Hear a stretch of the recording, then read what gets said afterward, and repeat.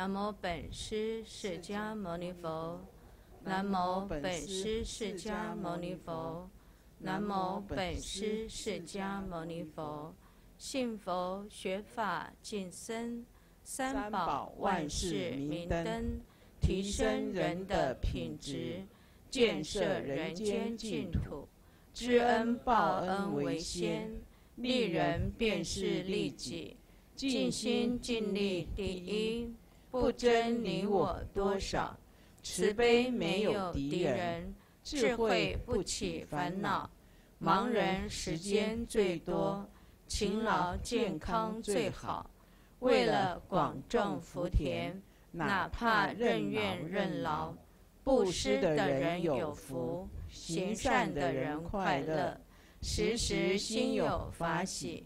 念念不离禅悦，处处观音菩萨，声声阿弥陀佛。大家晚安。法师晚安。一声阿弥陀佛，大家都是无量光、无量寿，而就是我们本自具足的自信。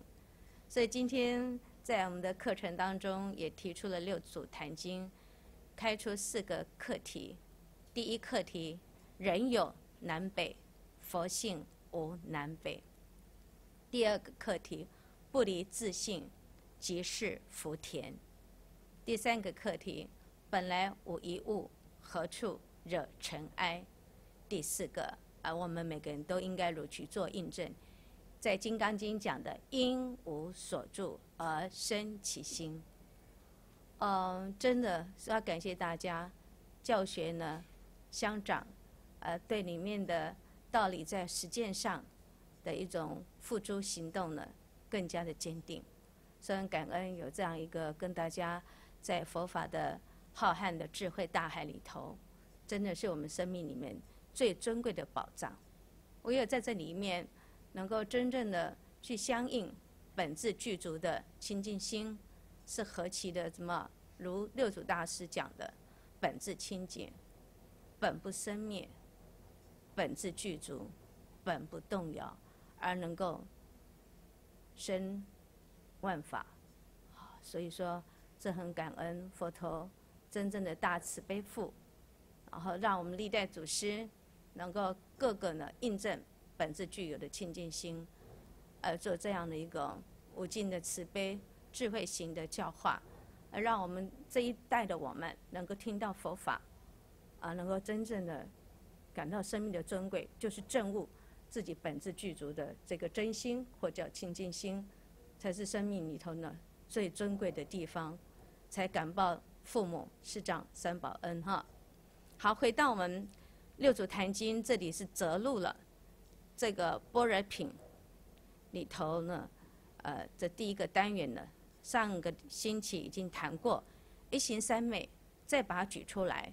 就是要指正一般我们错误的，就找一个法相，认为有一个一行的三昧的可得，所以他曲解一行，就是直言常坐，就是坐着，而且什么事其他都不用干活了，而这个坐是怎么样呢？就不动妄，认为有个真实的妄很可怕，所以呢，我们呢妄想来就赶快把它赶掉。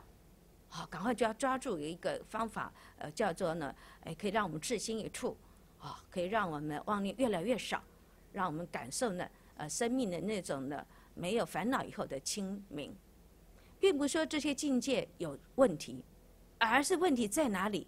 我们错误的暗示自己有妄心，真实不变，有一个我呢，真的要去受用所谓的清凉清明的境界。那又把清明的境界当做实在存有的问题在这里，不是说你受用的清凉有罪过，不是说你要把心安住自心隐处用方法有问题，都不是，在用的当中要怎么样的一个态度呢？是无所执取。现在只不过用方法是暂时的工具，让我的心有的安放，让我的心能够系住。那既然安放系住了，你就不要抓住一个实际的方法。然后这个方法呢，你能够放下之后，也感受我是自然而然能够受用这个境界。这个境界是本来我们的心就是这样一个境界。而现在是暂时被这些认为你真实的妄想，所以你要不动妄，要把排除妄。只要你这个念想能够真正的放下的时候，还不能放，就要借用方法，让我们能够放。松有个真实的妄想，不敢，很可怕，然后不妄动，所以要排除掉，要消灭它。错误在这里，只要你念是正确的，一切都因缘法，当体空，本质清净的。所以哪有个真实的妄，我要去断除呢？还有谁在受妄想干扰？有真实的我吗？佛陀告诉我们，这个我是暂时存有的我，这个我是让我们能够感受生命种种的，能够创造世间最大的利益，而把自己呢投入到世间，而说这个人生是这么的尊贵宝难得宝贵。所以你要只取一个真实的我存在吗？而这个我是暂时假有的，它不断的在改变，改变什么？往生命的解脱，往生命的善的，往利益世界这个方向不断的变化的开展，所以哪有个实际的我可以实际不变的存在的，都是在变化当中。所以说，在这里我要提出来一次，不要执着六祖大师所讲的一行三昧，认为是直言常坐不动妄不起心，这是错误的理解。六祖大师直接告诉我们，如果你是这样，你就如同什么枯木。石头那般的什么无情，而这样却是什么障道的因缘呢？戒之、慎之、恐之，不要这样有没有错误的一个正确的观念，而瞎了眼，还以为自己真正在用功呢，在办道呢？好，所以这里要注意哦，哈。那这里上礼拜也谈到了啊，就三知识呢，这个道。道是什么意思呢？道就是指我们生命原本美好了，这些的因缘条件在什么呢？碰到什么人，我们该怎么样？没有分别心的给予呢？生命自然流露的真心流露的什么慈悲心？能真正的去做到让别人能够离苦得乐这种慈悲心，你常常要运作。那运作要怎么样才不沾着说有可怜的众生救不完？会有一个我。很了不起，在帮助众生呢，或者说我这么做有什么目的的，叫做果报可得呢？这个的话，就要把我们的智慧心常常做关照。本来就没有个我，如果你有一个我，你就会很辛苦。这个人我对他这么好，对他付出这么多，为什么他不不一点没有一点感激我呢？你就是死在这个我，让自己辛苦，让自己受罪了，而且你也会让别人辛苦受罪了。所以，一个有智慧。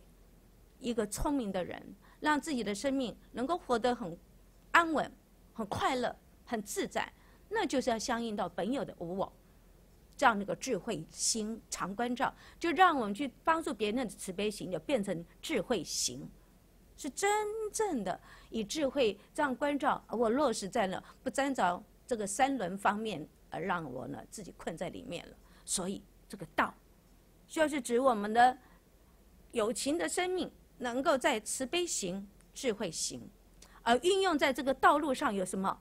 有人，有种种的山河大地的庄严物，还有种种事物的怎么进行共同的一个共识，来完成这个世间的整个的庄严。而庄严当然是人的庄严，才能够庄严这个世间。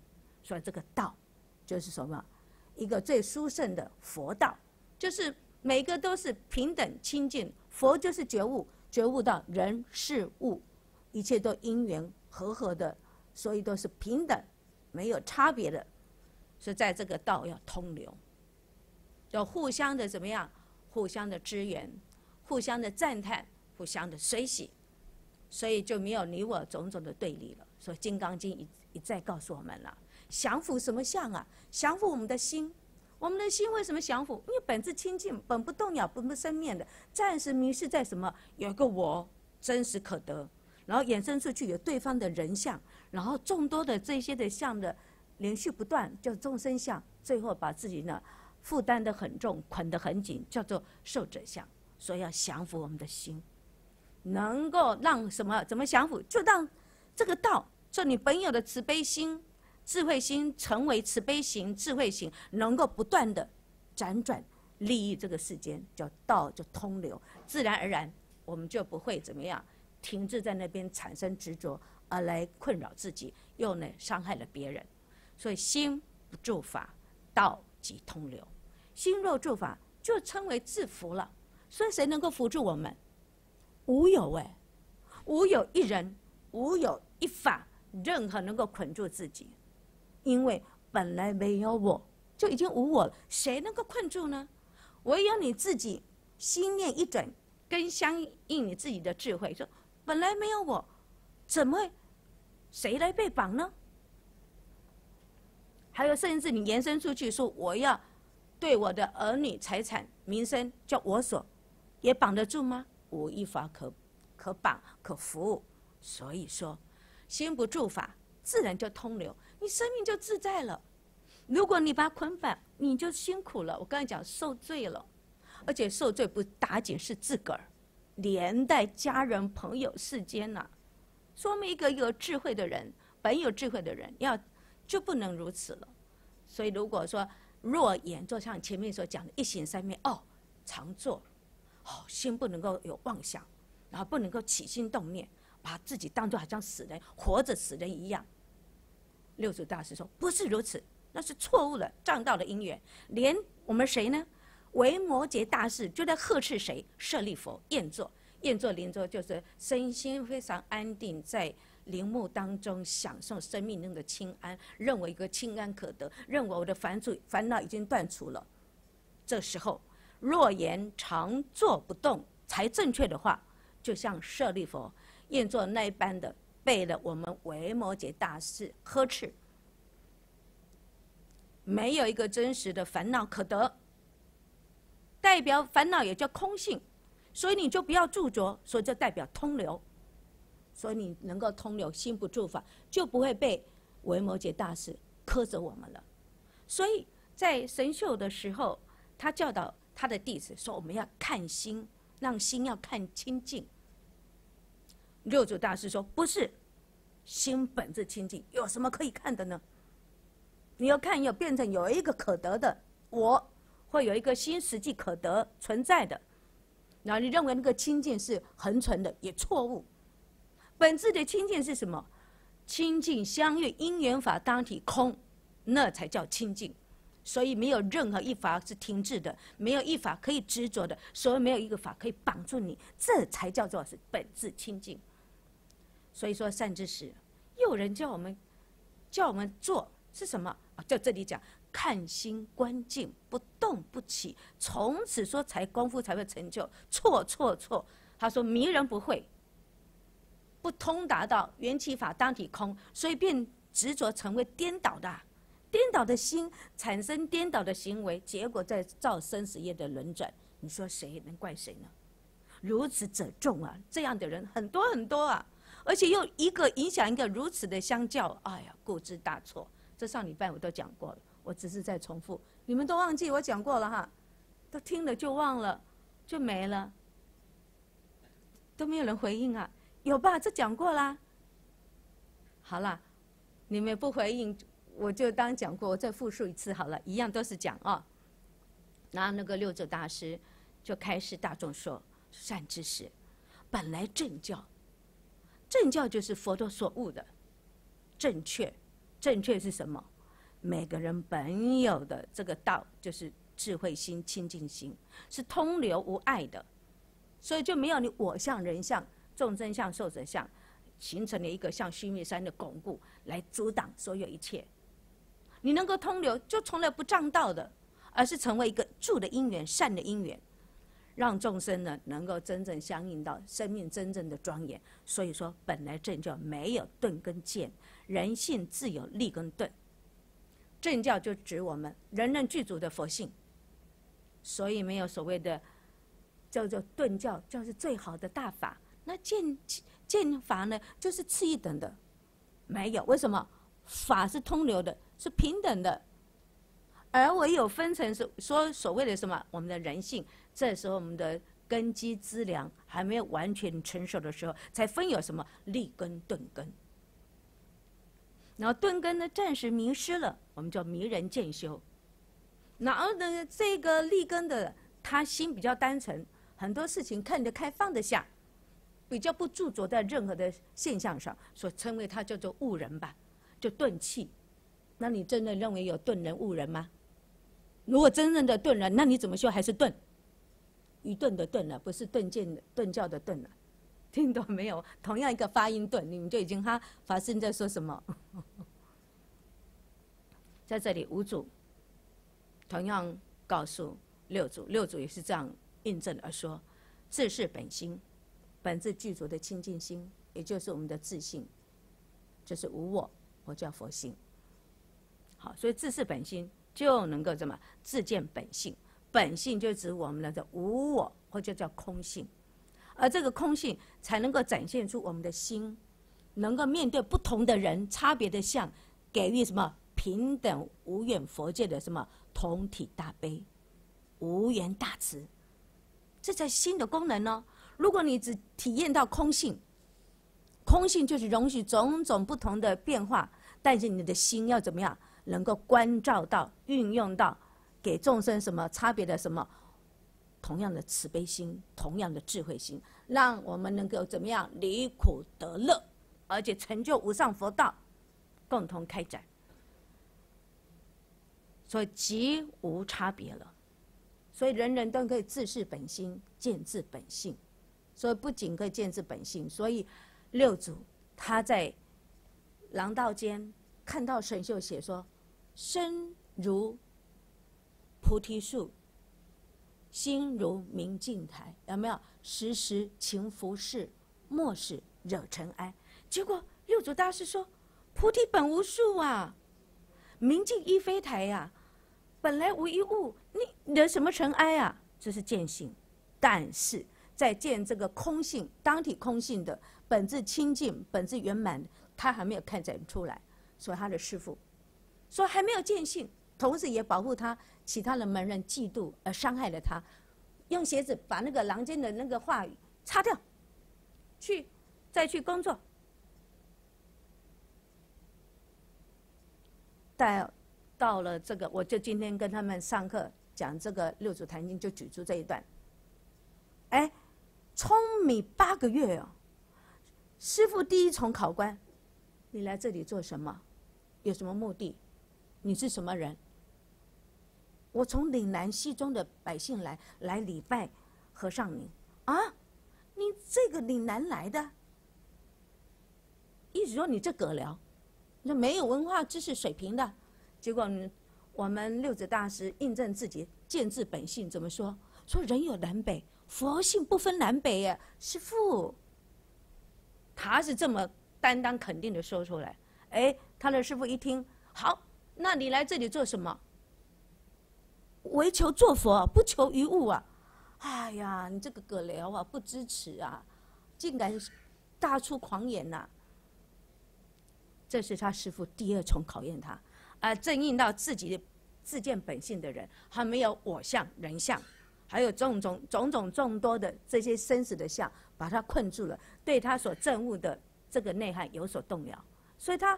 到后面的时候，这样子安本分的，到后面的模仿模仿去踏对砍柴，经过八个多月呀，他的师傅看在眼里呀，清清楚楚啊。有一天他就暗自呢潜到这个磨坊后方去看六祖，就得问问他了：“汝知之否啊？你是要师傅在关心，你知道吗？”他的弟子也知啊，然后这样的应对说：“我知道你的见解是正确的，但是我不能当下跟你说，恐有人伤害你。”然后再等待一段时间以后呢，再来去看六祖一次。哎，就问呢，就说你熟了没？你的你的见本性明白了，但是本性当中可以开发出。无量的智慧行、慈悲行，这一份你成熟了没啊？他说：“师傅早就熟了，欠塞呀，欠师傅您的，犹欠塞债，还欠师傅您的印证，并不是说他悟的证悟的道理有所不明，不是，而是师徒之间心心对法的相应，他相应到师师傅您印证了。”跟我跟你印证的是不符合佛所讲的三法印？诸行无常，诸法无我。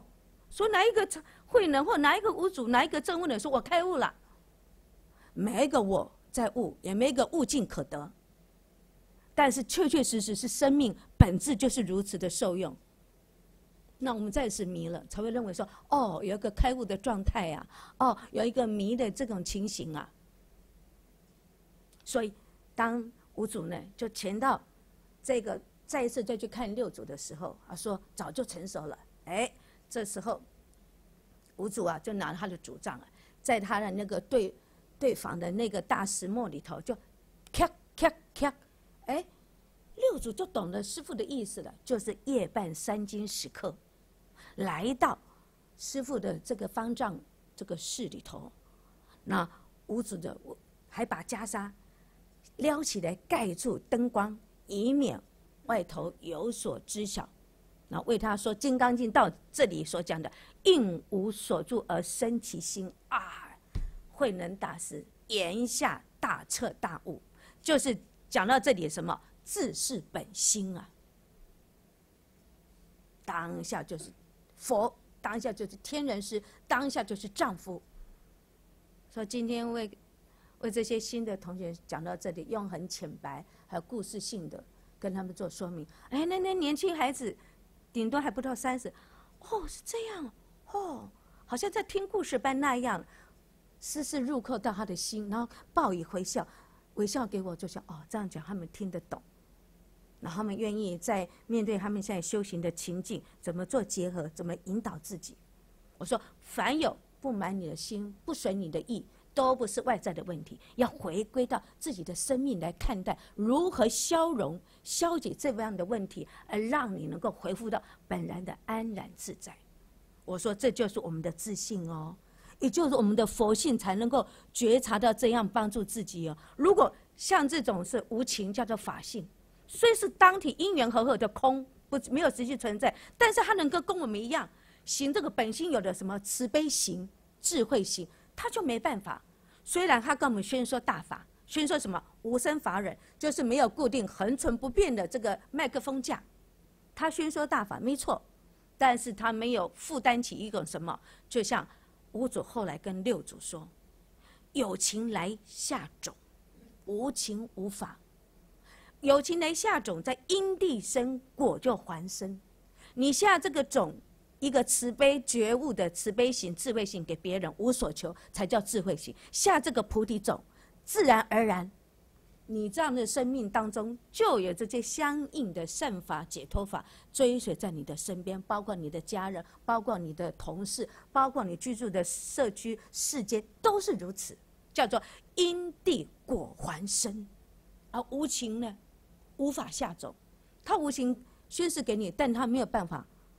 跟我有什么一个生命上的一种呢自信或自信的一种连结，所以说无情无法下走，所以呢无性亦无生，那就跟我们的佛性也是空性，法性也是空性。为什么都是因缘和合而生，因缘不具足而灭？但是佛性成为人的尊贵在这里，能够记忆佛法、传播佛法、证悟佛法。相信一切众生皆平等，这种佛性才能够真正的开展慈悲心、智慧心。所以，我们六祖大师告诉我们了：千万不要如此啊！认为有一个呃真实的盾跟剑，力或盾，那是什么？都是没有差别。所以，力、盾跟剑的假名啊。所以，你能够自视本心。自见本性就没有什么立根钝根的差别，也没有什么钝根见，那只不过是假名方便而已。你不要执着在上面而颠倒了。说你看我们禅宗是，你看这个祖师禅叫做顿教、顿成、顿圆、顿法，哎呀多高尚！啊，那都错错错。本质具足，要跟六祖、跟佛一样。奇哉奇哉，每一位众生呐，他就证悟到自己叫彻底的圆满。圆满什么？每一位众生，包括跟法性这个是众生众多因缘和合，包括跟佛证悟的圣者，跟过往圣者的佛，乃至于未来的佛，都什么完全平等，都是呢最尊最贵的。这是悟到这里，说每一位众生皆具如来的智慧德性德相，所以才称之为佛啊。而能够这样证悟，是他一路行的这个道啊，通流的道，菩萨道，利益众生，没有人在利益众生，没有个众生受利益，这样一路的通流做下去啊，才能够成就无量无边的功德跟悲愿呢。这样的一个能耐来教化众生，彻悟到这个什么，皆具如来智慧德相。所以法性就没有如来的智慧什么德相，唯有有情的众生。才有如来，如来就是指缘起当体空的德相德性。所以你的德相对众生的慈悲行就是德相。那你能够慈悲这个德相没有所修行，就因为你的智慧行才能够真正落实德相，一路做到底，没有任何一点停滞。好哈，这都讲过了，所以这里就这今天这一次要讲的重点，我一直讲上次。在理解六祖大师讲话，为什么讲无念为宗，无相为体，然后无住为本，真的太棒了。你还记得上次六祖大师告诉我们，修行的一个转折点很重要，别人飞，自己不要跟着去搅动是非。说别人飞，说别人飞，自己就飞了，自己就错误了。这样的情况就是。却是左向左，也就是不对了。我觉得六祖大师真的是古佛再来那样的，让我们再度有信心。一样说，在没有一个知识外面的堆砌，而直指我们的真心本心本质具足的去做相应。啊，为什么他这么能够比我们快？直指当下这个人心就佛心。因为他的生活非常的单纯，非常的简朴，没有复杂，而且心肠是安定、不乱的，所以才能够在听到客观在诵《金刚经》，就能够很大的受用，而能够保持了这个受用，又听闻到在黄梅就湖北有一位大师在。开扬这个东山法门，就弘扬这个法，他就非常的相应，那就设法怎么照顾他的老母，而呢跋涉了几个月，从那广东呢到湖北，至少一千里多公里多啊，两条腿走的，以前呢哪有什么马路，都翻山越岭啊，更是苦不堪言啊，啊你要吃要住没有。银两的时候，还露宿外面的时候，还碰到野兽、猛虎、野兽，你那一份不对，没有对道产生相应的那种坚固的信心，怎么熬得住呢？啊，你说古人他们健步如飞，但是别忘了，他们是翻山越岭啊，很多的资源不像我们现在这么富足方便呐。他是怎么样的这样的一个信心勇气，在于他证悟到法是本质的，本质具足的，所以。见字本性，视自本心。如果没有这样子，五祖告诉六祖的时候，就学法无益，都在说人树宝，只是在嘴巴讲一讲，鹦鹉学人说话，别人保你绝对不会保。所以他为什么要这么信心啊？好几个月啊，能够这样屹立不摇啊，直到见到他的师父啊，结果他心胸的心智这么。宽阔，结果他师傅一折、二折、三折，来浇熄他的满腔的热血。你这葛辽人，敢来说你要做佛？你凭什么？哎，一般人那个我啊，不就整个很嚣张的我爱我见我贪？你怎么可以这样侮辱我啊？把我的自尊于地上践踏。所以呢，证悟本心是自本性的人，就没有这些我。人众生受者，而是能够明白他心中受用的美好，要跟这位善知识来做印证，说我唯求做佛，不求于物。然后你去后面去砍柴操，去舂米，他说我常不离我的清净智慧心，当下就是不离自信，就不离这个清净智慧心，当下就福田，本质具足福田，为什么要去砍柴，还要去舂米了，来服务奉献给大众呢？师傅说：“你不用多说，就去去聪明，马上退到后面，不再说任何一句话。不是他默认，而是他明白，以以这种无我，也就是清净心的态度去做该做的事情。既然你今天翻山越岭、千山涉水、跋涉几个月而来，就是要跟这位善知识来学习。”你拿了一个根本没有个我受什么样，虽是本质具足，但是就以本质具足这种没有执着的这样的一个态度去遵守奉行，甚至是给你的吩咐，那就对了。所以呢，退到后院，就呢按照一个行者差他怎么做，他就是怎么做。拿来个我送你说，哎，我政务的有内涵，你有政务吗？没这回事。叫你去拿什么就拿什么，做什么就做什么，而且时间经过多久？八个多月呀！而且他们上五百、一千、一千五百人要用的米量多少啊？你一天要冲多少米壳啊？所以看到人多，口粮要更大的时候，腰就绑石头，脚踝也绑个石头，增加重量，才能利用杠杆原理。而有重量冲下那个米的壳去壳，才能够供应出那些米的粮食的量给大众来用。然后他当下，他有没说：“哎呀，我这个冲到什么才够啊？”没有，以智慧心不离心智慧的关照，知道该怎么做，做完就没事了。智慧在产生运用，说多少人用多少量，怎么情形怎么样，明明白白，而不会停留在啊，我太委屈了。明明我就来跟我师傅要做印证，为啥要做这个事呢？正目的人没有这些什么颠倒的心，在当下才能够排除万难，依教奉行，当教做下的就是你真正的福田。所以那天昨天晚上跟同学上课，我说不离自信即是福田。我说那个你可以当饭来吃啊，会饱吗？我说不是。是这样的一个指导的原则，说不离你的自信，不离你的智慧心，当下你能够排除万难，真正的把事事情做到了，完全圆满了，你这个时候才是呢，你内化你生命才是真正福田。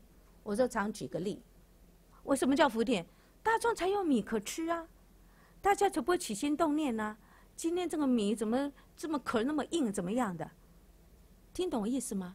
你能够真正的以智慧消融你的苦恼，啊，那个欢喜也没有起这个欢喜心，是自然而然的去做好这些事情，让大家能够安心办道，无后顾之忧。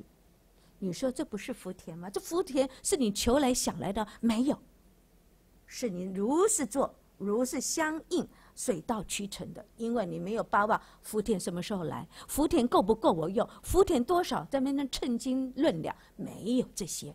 那才是真福田，所以我就举个例，就像公司做事一样，老板嘲讽你、苛责你、要减你薪水，要怎么样？你忍不过去的话，你家里需要你贴补的费用，你就无法拿得出来。所以呢，一般世人是忍的苦，忍的苦再苦，方为人上人。而在我们六祖大师，他没有认为个真实的苦要去忍，也没有人有过我在做这些的辛苦。可得，所以他能够呢，把这个任何的事项都当做是修行啊，也就是他见性了以后，我来做佛，啊，对不对？然后认为有个佛可得吗？佛可得还要做这些吗？连佛成佛都要怎么样？穿针设伏的这一丁点，佛都也没有蹉跎过。就他的弟子阿那律，放逸现代，佛陀说法都在昏沉瞌睡，结果佛陀为了真正教化他、劝诫他、呵斥他，引发他太精进了，七夜七日不眠不睡，把眼睛弄瞎了。所以瞎了之后，佛陀经过知道他针穿不过去，就自动为他的穿针引线，连一个。真正彻悟的圣者都如此不轻忽每一个因缘，我真正的珍惜每一个因缘，而不是我是佛哎，我在那为你做这件事，那你就我人还有这个事的对立差别了。所以我真的很感恩这些祖师大德贤人呐、圣者啊，他们的身教言教的风仪、风范、事宜。在在处处都在这宣说，我们人人都可以完成的生命伟大的志业，就是证悟自己清净圆满，而是指日可待。不管是哪一生可成就，就如是的道，不断的做下去就对了。所以今昨天晚上跟同学讲，什么叫福田？就是智慧起障消融苦恼，啊，才能让你顺利完成。你该要做的，才有那一份的福可以让你受用，啊，来支撑你这个色身、你的家庭，还有一切，还有基本的需求没有匮乏，这就是福田啦。如果你那边计较、那边难过，怎么样？哎，一年换三百六十五个老板，请问你还有什么可以来帮助自己，甚至要帮助家人，就没办法。所以这里讲谈到他所证悟的本。视自本心，见自本性，能够完成它中间要把握的几个重点，就刚才讲无念、无相、无助。然后在我们一般人呢，能够呢去运作中，见他人是非，己莫非，己非了，就是呢。走到错误的道路，就确是左，就不是正道了。所以这里告诉我们，如何时时相应到正道里面的什么因缘当体功，没有一个实际你看到认为说这个叫对的，这叫不对，这个叫好的，这叫坏，没这回事。是因为你的智慧不通达，所以这里说善知识，我此法门从上以来，先立无念为宗，无相为体，无住为本。这很重要哦。那你想，什么叫宗啊？什么叫体啊？什么叫本？接着下来，六祖大师都讲得很清楚。他说无相，他从五相先进行。为什么？我们见到相就开始分别了，这我喜欢了，这我讨厌的。他就从相来剖析给我们看，于相而离相。看到这个相，你不要先贴上。你的标签，先去认知到，虽然不是你证悟到，就是说，哎，这是因缘如幻假有，所以呢，没有办法在上面做什么种种的执着，所以你就要离相。为什么？它既然是因缘如幻假有，就是不是真实不变的，那我抓得住吗？得得到吗？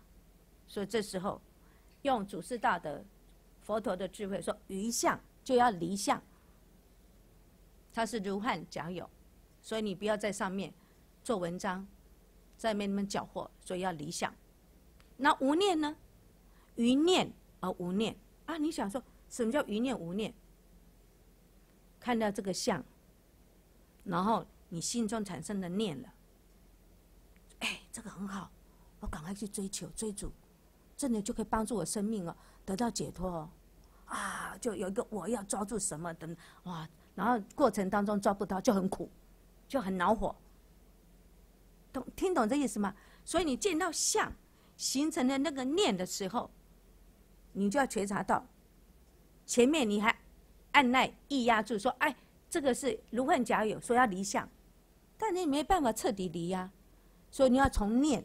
你心中的想法，种种的想念下手，说念这个生起或灭或散，这些也不是真实的存在。如果真实存在，我应该都是一直想着这个东西都不会变呐。所以说，无念就是一念而无念。所以你当你像看到很多像你要分别的时候，就哎，这如幻的，就像打雷一样。就像春风拂过去，就在那个音响响那个声音一样，过去就没了。哎，说不要停留在上面，更不要把它抓取了，所以就叫无相，叫余相离相。那念呢？念呢，可能还想说，哎，好，我就举例刚刚才我看到那个相，我知道如幻假有，哦，我离相了，但是心心中的念还在上面。你看，我离了相嘞，你看我用功了呢，我进步了呢，听懂吗？这时候你还有念呐，认为还有一个我在受用这个境界，也要怎么样放下？所以叫余念，你觉察到了。以刚才前面的例子来讲，这个念也不是。真实不变，所以要放下，叫做无念，并不是什么念头没有叫死人的无念哦。我师父常说，好了，给你当植物人，一棒给你打昏了，啥都不清楚了，或当植物人，你以为这个就叫无念吗？他的阿赖耶识种子里头啊，还是在变化的，生生灭灭，增增减减呐。所以说，在这里说无助。人之本性，于世间善恶、好丑，乃至冤之与亲呢，言语处次欺真之时，并将为空啊。所以叫不思仇害，念念之中啊，不思前进。若前念、今念、后念，念念相续不断，就叫做细佛。与诸法上念念不住，达到什么？没有一个东西可以绑得了你。你要不要过这样自在自由的武士道人呢？当然要了，所以就要把这个操作呢信念在心，念念不住在任何的现象上。为什么呢？把了，他已经跟你分析的很清楚啊。人的本性啊，在这个善跟恶啊就有对立啊。哎，这这明明就不应该这么做，你怎么可以这么如此的？恶啊，对待他人呢，你心中就有个善的一把尺，在跟他对价、计较筹量，才有这样的二元对立方法，而不知道他之所以成为恶的这样一个果报的呈现，背后有错综复杂的因跟缘。你要从这里去观看，才能够真正帮助他离恶从善。你心中的善恶那把尺，就不会这样去去影响别人，也不会。迷失了自己，在这个因缘的脉络上，你清楚明白，才能够帮助别人，真正的能够呢，让生命得到解脱。所以说，人的本性在世间，善恶指出或好跟丑，乃至冤跟亲，或言语的一种处次等等产生的七真，那时候的状况，因缘成熟那时候的状况，我们要怎么样？知道一切是因缘和合，是如幻有的，叫假有。就这里的空，所以这里的空是指什么？空去你的对好丑这种种的差别的时候的指分别计较心空掉，是空这里啦，就污掉这些了。所以你不要把善恶、好丑种种的对立这些呀。是你的智慧还没有通达这一切的变化，所以你就暂时迷失在你目前看一小短暂的这样的一个什么好丑，或者是讲善跟恶。举一个例子，经典当中一些大阿罗汉都已经证悟了，有心解脱的，也有会解脱的，具解脱都有的。哎，他就观看一类的众生，叫一禅提。这一禅提就是毫无任何善根，也就是说。如果没有善根无法成佛，佛陀说错。一禅提终将成就无上佛果。那阿罗汉说：以我的智慧通达的这样的他的未来或过往，我通达不了他有任何一个善根成就。佛陀说：这是你一般还无法通达，以佛眼的智慧就能够通达。他过去非常非常劫的久远，就那一点点的称赞佛陀，或者任何一点的善善根，他的最后就是要成佛。所以这个来说明什么？说明要真像佛一样成就了这样一个正片之，能够周遍完满的知道所有因缘，包括人、事物、时空、宇宙、空间，所有一切的因缘脉络的变化，完全明白。这时候才不会什么曲解任何一个事项，所认为有个好与不好的对立，善跟恶的差别了。所以在这里告诉我们哦，能够能空掉这些分别计较执着的心，才能够怎么样？不去思念，那个念就是系住的。哎呀，康叔梦想啊，他想的是我心中的那那个人，赶快这里什么？思啊，怎么仇？要报仇？曾经害我的一个眼神、一句话、一个动作，我就千丝万良的要怎么样来报复？所以您看，能够放下这些分别计较执着，你心是不是很多的石头都不存在了？心中坦荡荡、磊磊落落的，多自在啊！所以他告诉我们，做个自在人怎么样？空掉分别计较执着的这样想法的时候，就那么个想法不会产生什么想要去仇害别人的这些的，哎呀，就诡计良啊，很狠毒的心啊，要去造生死恶业呀，就无法怎么样照做啦，你就不用受这些果苦果了。说菩萨为因啊，啊，凡夫为果，就是这样啊。啊！现在我们就菩萨是什么？是一个生命觉悟的有情者，不会让这些呢认为对立的种种的种种种的众多相来认为说是来伤害自己的，然后结果伤害自己的话，自己就跟着苦了。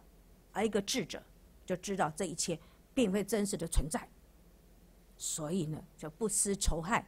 当下呢在因地上要造成生死冤家的这些共业跟造的业力，这些都能够。马上解消掉，就是菩萨为因啊，啊，我们都是后知后觉啊，受了苦果，说我不要再受苦了，我要出离了，我要按照佛陀的教法了。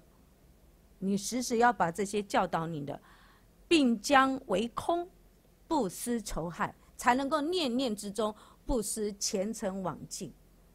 不管呢前尘往事呢前念、现在的念、后的念，都会呢。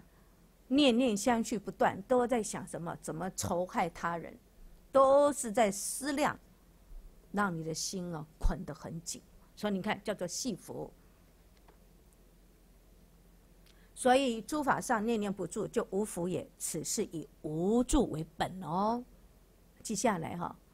然后他刚才从无相对不对？啊，谈到那个这个念念不住着，谈到这个无住为本啊，接下来就要。在后面就会开眼无念。好，说善知识，外离一切相，名为无相。刚才不是讲说余相要怎么样离相？那为什么离得了？你就要知道一切因缘法和合是如幻的假有，所以你就要离，不离是你自己愚笨。那你怎么能够觉察要离？心要安定。怎么安定？每天要做定课。怎么定课？就是常起智慧关照。你不要小看你每天念心经哦。观自在菩萨，就是告诉自自己，告诉自己，我是观自在菩萨。哪一样把我捆住了？啊，观自在菩萨怎么能够自在？行深般若波罗蜜多，就常起智慧关照。关照什么？一切因缘法，当体空。它是如幻假有，给你暂时的苦恼，你不要当真。所以你要 把这政治界引导你做这样的关照，就叫智慧关照了。你就有办法什么于相离相，才能够于外离一切相，叫做无相。无相是什么？无不相，无不相就能够欣赏到每一个的相，你又不执着它，才叫欣赏。所以无相。就是当下无不相，听懂这意思吗？我都看你们都没有回应，所以善知识外离一切相，名为无相，能离于相，其法体清净，它就说明为什么无相为体的原因。因为你没有任何一项抓取放在你的心里头，而且能够通变的不去占有，是有欣赏所有的相都是叫妙相，因为你的心没有任何的执取，所以你能够离于相，这时候呢，这个相也就是法，法体就清净因为法本来就清净的啦，是你加了一个自我的善恶、好丑种种的对立，才会说，嗯，这个是好相，我要追逐；这个是烦恼不好的相，要断除。这时候你就没有能够回归他这个烦恼，也叫做法，以这个相的清净了。为什么烦恼为什么叫清净？有烦恼实际存在吗？如果有，你现在应该都一直很烦恼，烦恼不可能坐在这里吧？而烦恼就是它有造成烦恼的原因，种种的条件，它完全具足了那一刹那，你才感受心里不舒服、不满或痛苦。如果没有那些条件具足，它还不能叫做烦恼啊，来困扰你。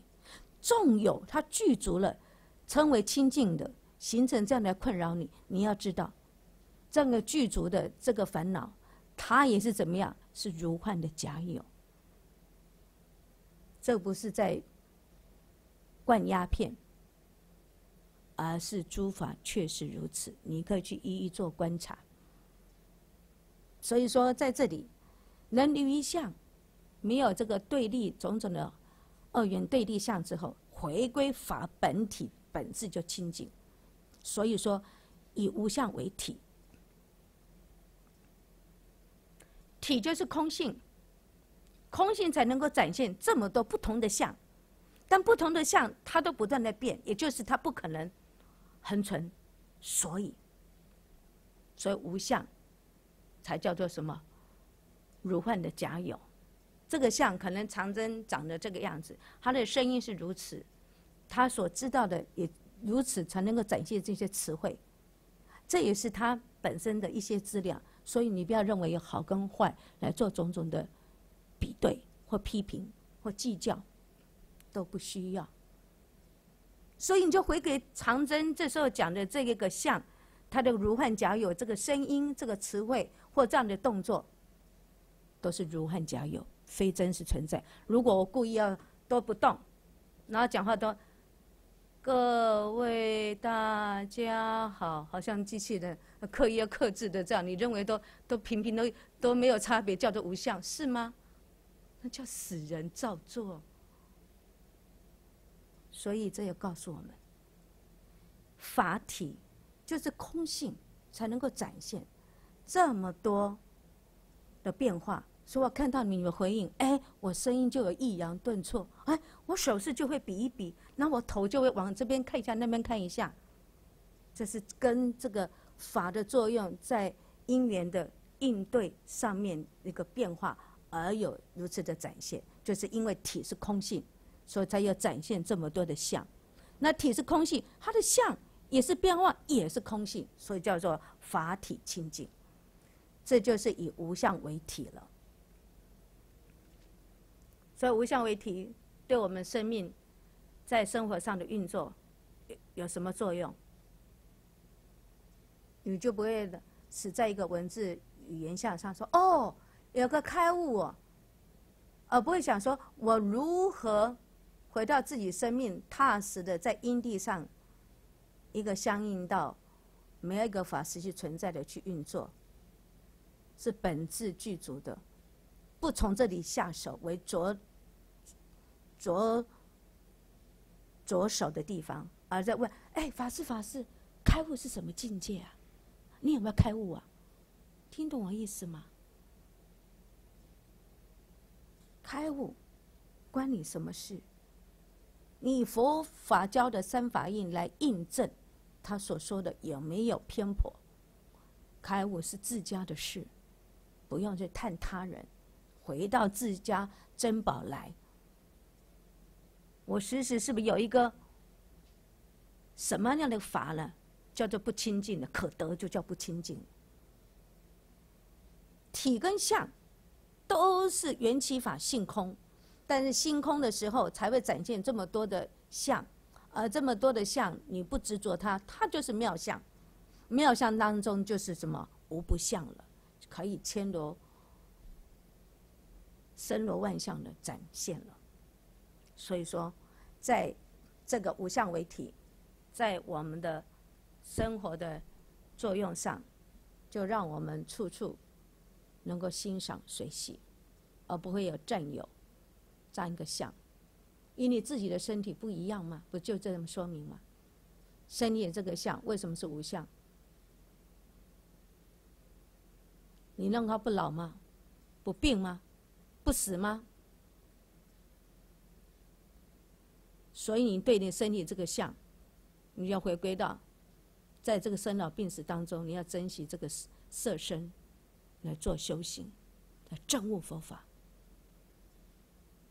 这才是善待你的身体，正是不辜负我们的性灵，本质具足佛性。而这就是这个无相，在我们的生命生活上的作用，你才不会自去这上面说好苦哦，抬头纹、鱼尾纹、打玻尿酸，还有拉什么不拉皮不是拉脸拉皮等等一切，或做什么做什么好苦哦。一旦有怎么样，你就跟着苦了，因为认为一个真实的相啊，叫做丑，叫做没人爱，人家憎恶是吗？内在生命的丰富、丰厚、富足，他就不会在这外面的枝末上、表象上做文章，而知道生命历练的沧桑所留下的痕迹是最佳的见证。何来丑跟美的真实的对立呢？所以我们能够生活生命当中，能够与任何的相，不是刻意要远离，它本来就不可得。就我们的智慧关照，所以你在一切的相，你就不会沾着，让自己受苦捆住嘛。刚才不讲了吗？你认为有相，你就会怎么样？衍生什么？要去抓取叫住，住着它，然后住着它，你的念念呢就不得安，念念就告诉蠢蠢欲动，我要这么做。做出对你伤害你自己的身心了，又伤害别人了，你看是不是衍生出去呀？看到像台语有一首歌，你们会唱吗？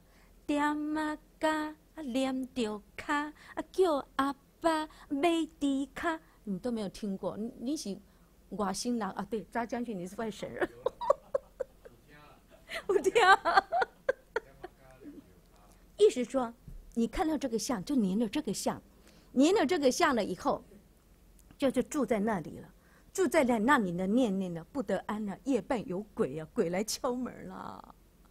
就像我师傅常举一个例，到国外了去住宿的饭店，他的心中心藏暗鬼，啊这里不干净，赶快大伙一起那么恨呐，等呐，多那压抑，那么恶劣，一直念念念，越念越可怕，越可怕。念到后面夜半的时候，哎，有人腿被拉了，哇，吓得要死，连夜犯房啊。你就说好吧。该是我欠你的，我该酬偿你，我就还了吧，这辈子了结吧，或者是我我所做的功德或怎么样回向给你吧。哎，你心这么一横，一横就一放，大不了命一条嘛，你想怎样嘛？哎，就这样置之于死地才能够后生。然后你不是心中暗苦，哦，这里一定不干净，这怎么样？听说这里有人上吊，怎么样？哇，越想越多，越可怕，越冒自己呢，越恐吓自己，越吓自己。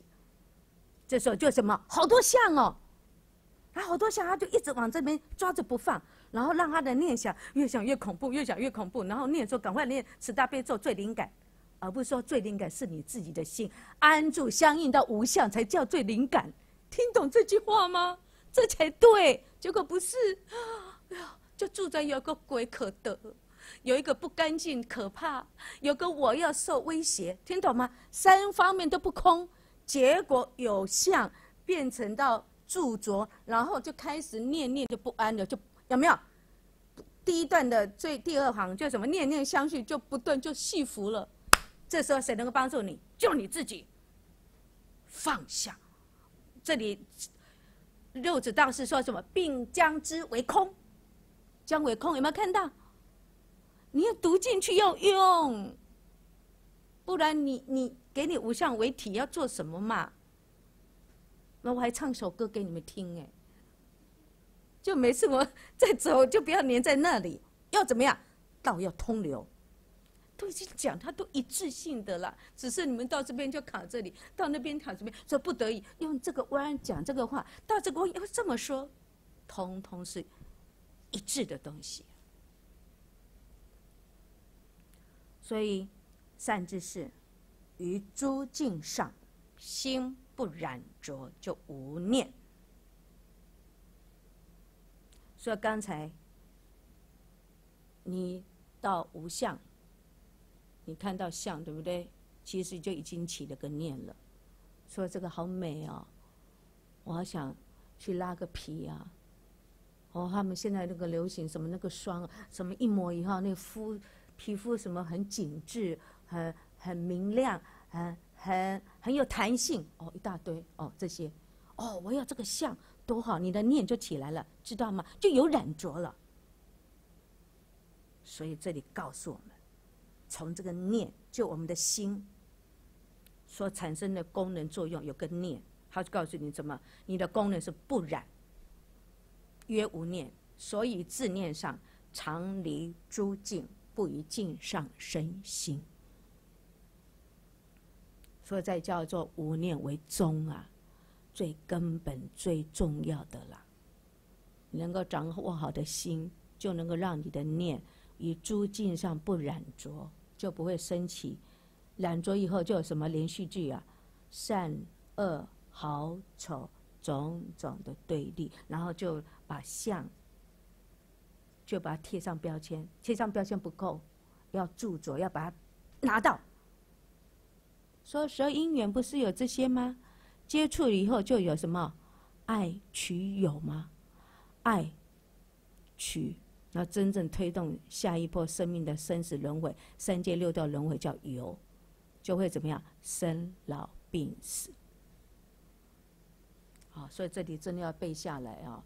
虽然相应不到这些眼目，都是帮助你在生活、生命上如何于静心不染。不然的时候，你就能够对这个相就能够离相，能够离相回归相的一个清净的本体，你自然念就不会驻着在那个上面，所以你就能够心处处就通流，通流的用意在哪里？见到这一法就知道这一法的作用，该怎么运用，而不会着在上面，你就无法受用这个法的通流的作用，更不要说这个法之外这么多的。这些现象形成的法，你都无法认知到，就无法受用到和无法欣赏到了。所以你看啊，好，这这样清楚了哈。所以，若执百物不思，哦，就刚才前面讲的哦，观心看境，不动妄，不起心，错哦，他又再一次讲哦，若执百物不思，念尽除却，要把念给打死。统统把它除掉，啊！你看一念绝，就是死人呐。照样三界六道就别处受生了，视为大错。好，他这里讲是说，一念绝即死。他认为这个一念绝都一念都不起了，就能够打死他。认为一个念真是可得，要打死，说能够别处受生。就不会再再到那所谓的三恶道啊，可以到善道去受生可得。他说这视为大错，不然他们为什么要一念大觉？就希望能够到什么好的生命形态，他们称为别处去受生呢？六祖大师说这是错误啊！你看看呢，祖师大的多么大的气魄，生死即菩提啊，涅盘即什么？即什么？去轮回，所以南拳大师和龟山大师，他弟子问他：“师傅，师傅，你死后去哪里？”哎，山底下那一头公的水姑娘，就是我要去的地方啊！你看这里哦，打头念头死啊，说一念绝呀，就死了我什么所有的攀缘心。这时候我就到善道，三善道人呐，我天呐！或怎么样更好的境界去受身了？慧能大师前无告诉我们不得如此。他说：“告诉我们学道啊，这个道就是通流啊，你要好好的思维它，思维它所教导我们的生命的道理，是不是真实如此？让我们生命彻头彻尾的悠游自在，做一个无事道人。所以说，师资里面要开展说什么？若不是法义，若不明白，所有现象都是在法轨里面。”法轨是什么？因缘合合而生，因缘不具足而灭，不断的保持这样的运作，这样法的法轨，它是这样的深刻的意涵。如果你不明白这个因缘合合法当体是空变化当中呢，你自己没有证悟到这里，没有受用到这里，自错有可，怎么还可以悟尽沧桑啊？苍天的所有的人呐，更悟他人，所以自迷不见，又谤佛经啊。这样的造下的三恶道的业啊，是非常的重，非常的深。所以六祖大师就立定了无念为宗，这是最根本的啦。所以你的无念是什么？余念。不染浊，染浊就是有分别好坏。那好坏以后要最后这个怎么样？就要去直取了。直取就能造下了生死的轮回的的动力了，就是那个有梵文叫 power，就推动你下一波生命的轮转。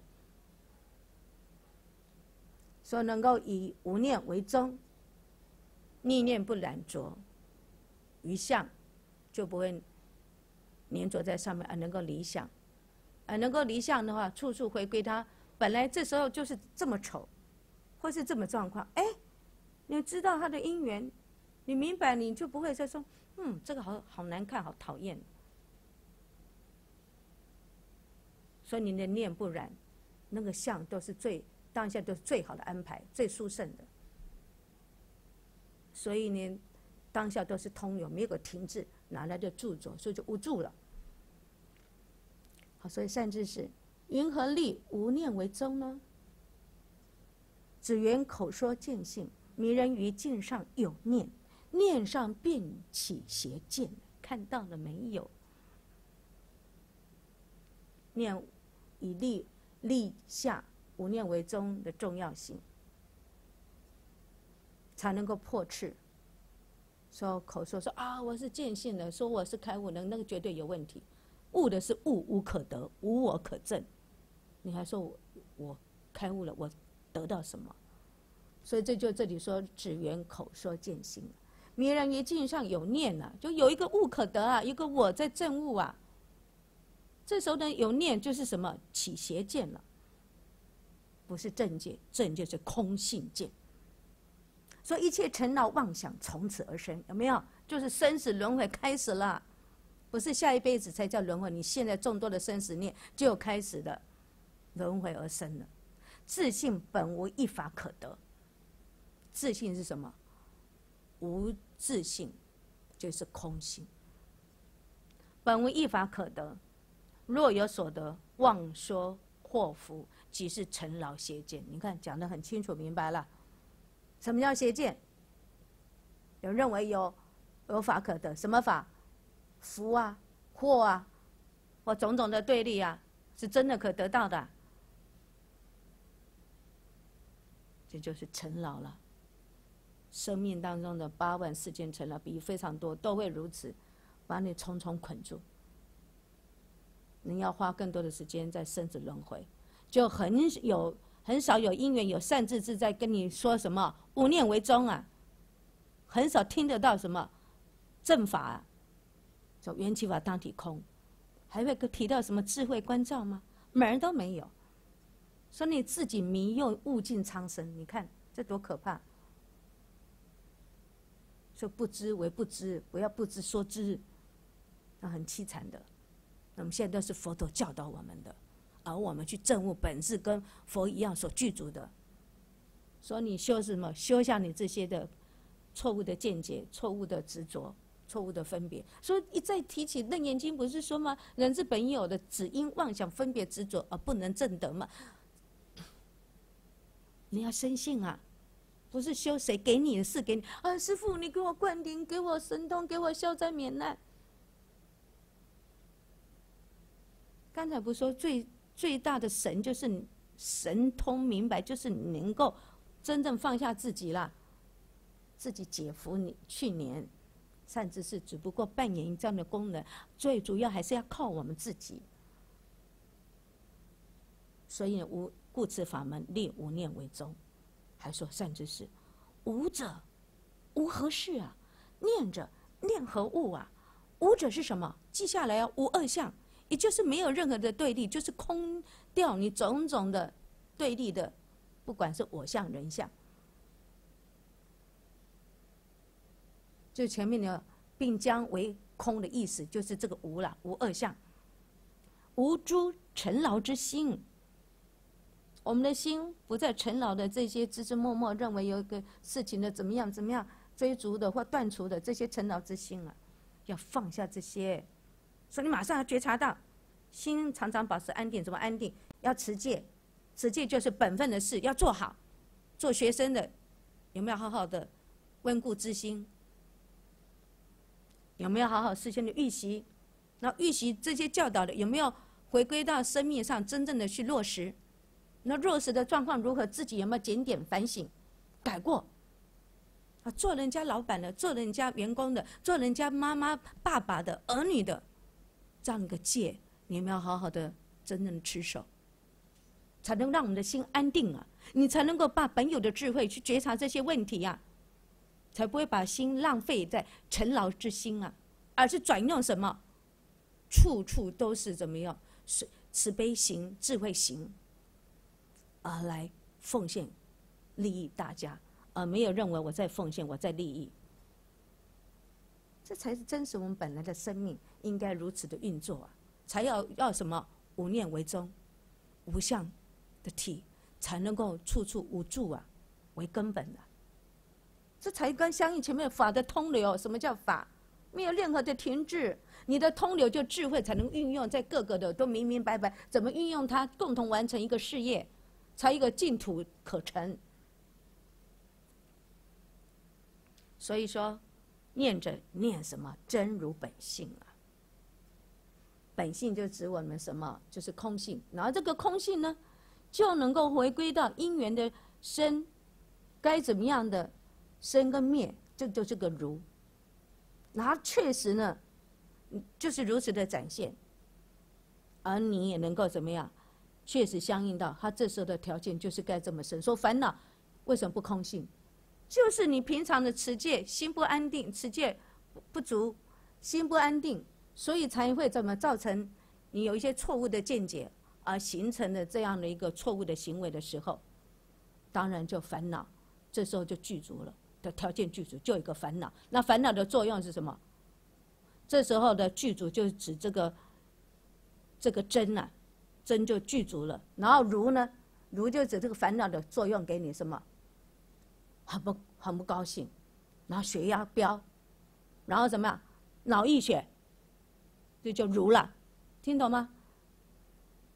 这个为什么叫烦恼？也叫真如本性，就是我刚才讲的戒定慧，你都没有在运作它的时候，所以往错误的方向，让你生命是捆绑痛苦的方向的缘一直成熟，成熟到完全具足了，它就就。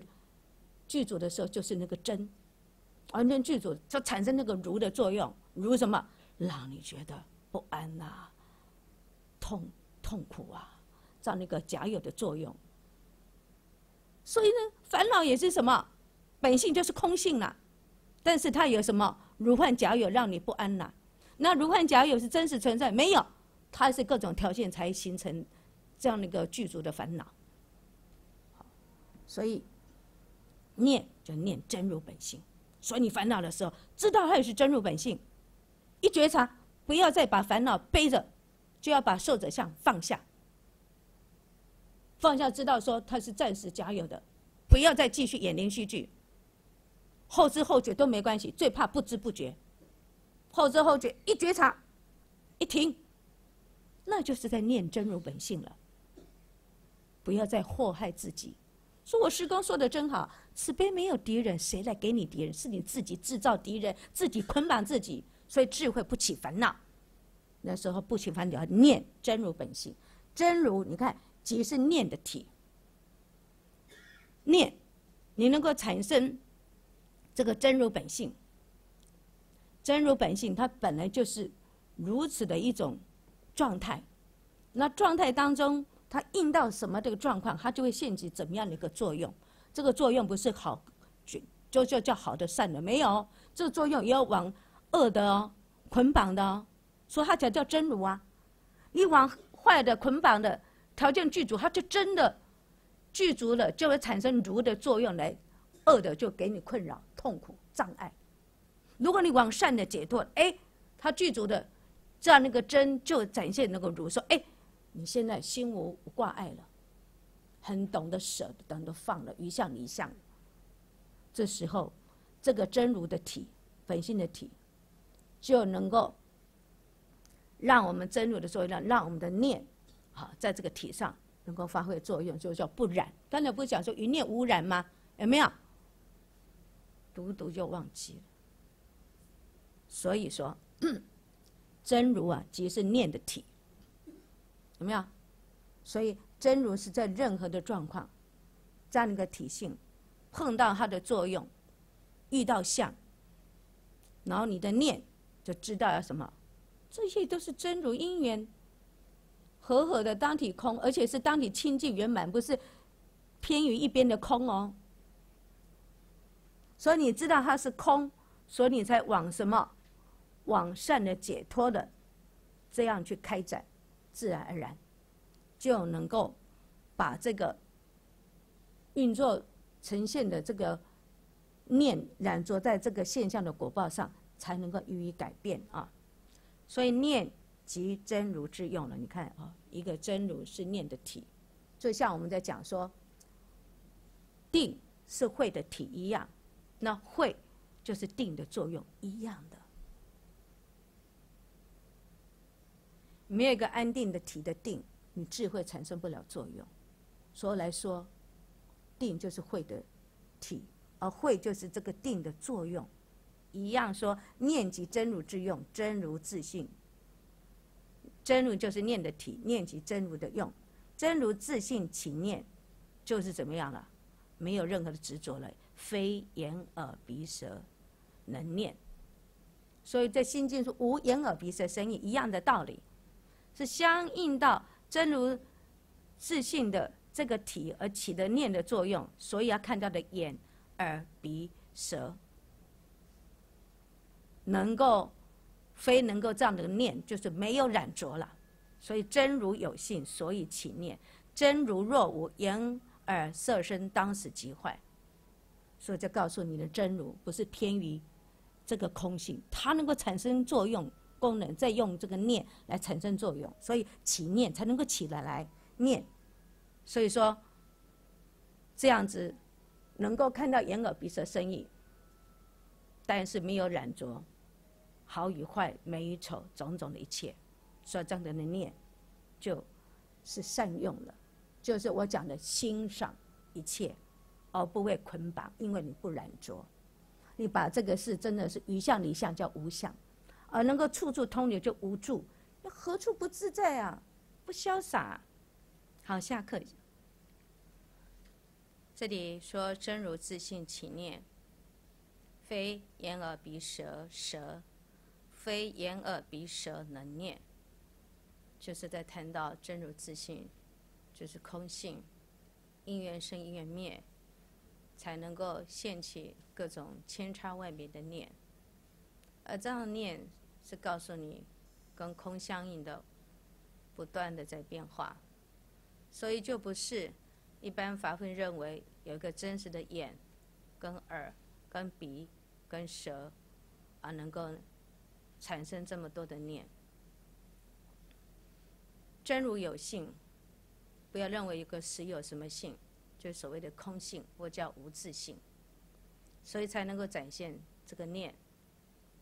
那真如若无，若不是因为空性的话，那眼耳色身当时呢即坏，也就是无法成立。你认为有个真实固着不变的，那眼睛永远所相应到的色都是固定不变，就无法呢有千差万别的这个色的呈现，而说即坏。也就是因为真如空性这样的一个自信，叫无性，所以才能够应对面对各种不同的这个相，才能够产生这么多的相，叫无不相。啊，因为你知道是空性相应的，因缘生因缘灭，当体是空，更是清净圆满，所以叫无不相，就是实相。这样子眼耳鼻舌身意才能够面对的。啊，这个六根对六尘，啊，眼对色，耳对声，所有的展现的跟空性相应的，才有这么多的这些的现象的变化，这样的差别。但这个差别都是暂时的如幻假有，所以你的心念这个真如自信的心，就不会染着了，就无念为宗，相应到了，啊能够欣赏到所有的相都是妙相，就无相了。念念相相都是这么庄严，所以你不会著作任何一个相叫的好跟最好的不同了。啊，好，这是刚才对这个真如自信起念在做补充说明。好，三字是真如自信起念，六根虽有见闻觉知，但不染万境，而真性常自在。所以经典谈到了，我们常说这一句啊，《般若经》能善分别诸法相，于第一义而不动。第一义就是指空性，也就是圣义地啊，因缘当体空，啊，就叫第一义，而不动什么？不动所有的诸法相有所染着，这叫不动。所以这才叫善分别，在世俗地上。善分别诸法相，但于它本有的相的体性是什么？空性。所以说，于第一地的空性，而不染着所有的差别的好坏对立种种的差别了。这样看得懂啊？所以说，刚才说起什么念呢？是起真如自性能起念，然后起念是我们的六根念，就是我们六根对着六沉静而产生的六事。这个接触和合产生的六识呢，而产生什么见闻觉知？这时候，我们的念是什么？不染浊，不染浊万境，所以这才叫我们的真如自性，就是真性，就真如自性。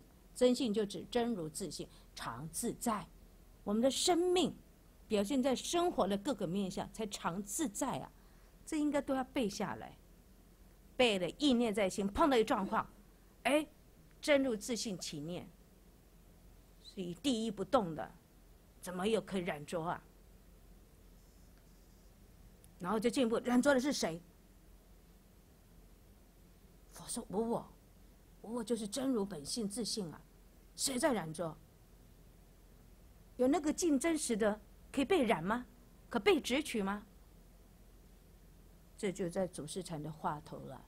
就在参就了，所以你把这个法语背念在心，念真如自信，所念所感受的这念的内容，就是表现在什么生活的各个层面，叫见闻觉知，是什么？皆不染，于第一义而不动。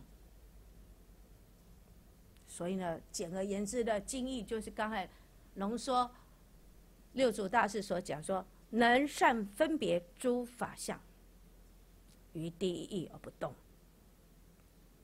诸法相就我们所有的见闻觉知，那见闻觉知就我们的心的作用。那作用在哪里？就是念的作用。念在哪里？怎么不染？因为是真如本性，就是空性。你染着什么？什么可被染着嘛？好，这样，以上这个是。第二个叫什么？定慧哦，这是定慧哈。前面是讲般若，对不对？好，般若定慧。现在讲的第三个叫坐禅。以上清楚了，可以哈，啊，进入到下面的喽。好，师事众云，此门坐禅，原不着心，亦不着境，亦不是不动。好，他下面说明：若言着心，心原是妄，知心如幻，故无所着也。若言着境，人性本净，由妄念故。复盖复真如，但无妄想，性自清净。起个心着个境，却就是生出的境妄的对立，妄无处所。着者是妄，静无形象，确立境象，言是就是功夫了。作此见者是障自本性，却被境服。就说，你认为有一个真如自信可得，有一个真心存在，或者一个物可证得，认为有这样的一个镜像，这就什么障碍了你本自具有的这个智慧啊，就是这空性无我的智慧啊，你就把给自己什么盖覆住了，你就看不清楚了，就迷失迷惘了，这时候就被这个镜这个相把我们绑住了。所以现在告诉我们做禅，用做的方式来参就自己的生命，是跟佛不二，无别的。所以他告诉六祖，告诉大众说：“此这边教的这一个法门的坐禅呢，压根就不着心，不要你怎么看心、观境。”有没有前面不是讲说错吗？有没有要你好好看这个心，观这个有没有清净？他说这是错误的方式方式。告诉你不染着，不住着，念不染，相要离相。然后呢，对每一个法都不住着，就是通流，也就是我们的心原本是这样，心是通流，那你还要着什么心啊？心都处处是水的通流，你要着哪一个？着一个就。变下一个就一直变，到底着的是哪一个心啊？根本着不住。就像你现在明白的空气，我抓空气，我打空气。你要说你愚痴笨蛋呐，你在跟谁啊？抓得到啊？打到什么？那般的一样的道理。所以说，不着心也不着境，是因为你认为你有染着的烦恼，才有个对立，叫一个一个清净心。存在不是这样的。什么叫本质具足、本质清净？就是没有这些清净污秽、染着垢秽、种种的这些的对立抗抗争。本质具足就是能够看清这一切，一场梦，一把游戏，不要那么当真啊！小孩子呢，哭哭闹闹，当下就没事，你还嘻嘻哈哈，多真呐！哎哎哎，这就真如的真了，哎，长真的真了。随着一个因缘的变化，你当下受用在里面，当下就用完即就怎么就放就舍，不放在心上，就是不染着了，也就是无助了。也就于相离相了，一样的道理，只是这一层的作用你用不到，用另外一层的帮助，用另外一层帮助你，三个一一体一通达的。所以说，不着不着心，不着心不着境，亦不是不动啊，又不是死人。所以为什么于第一义而不动的意思是什么？善用各种的相，但是你的心是心的念是无染，而且污染的这个状况你也不著着，说你看我都不染着了，我就是圣人，对不起，也要放，所以这叫什么？叫做无助。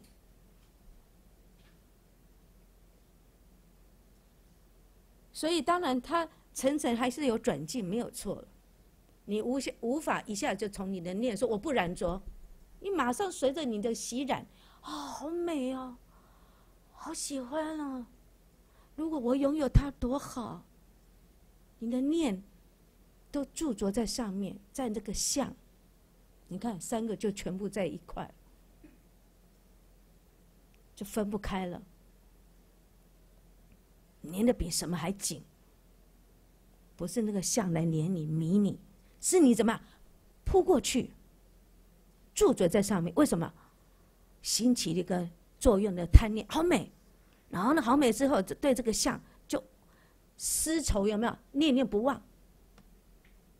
那你知道这些的过程，就是因缘呐，因缘的脉络，你怎么解套啊？把你原有的智慧拿来用，就是没有这个心可得，也没有这个境存在。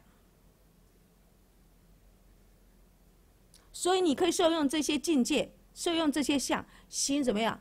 不染着，不著着，离这个相，受用这个相，这叫不动。不是没看到、没听到、没吃到、没受用的，什么都不知，叫做不动。不是。好，你们背背来给我听。无相为什么？错。对，无助什么？无念为。刚才翠华讲的中，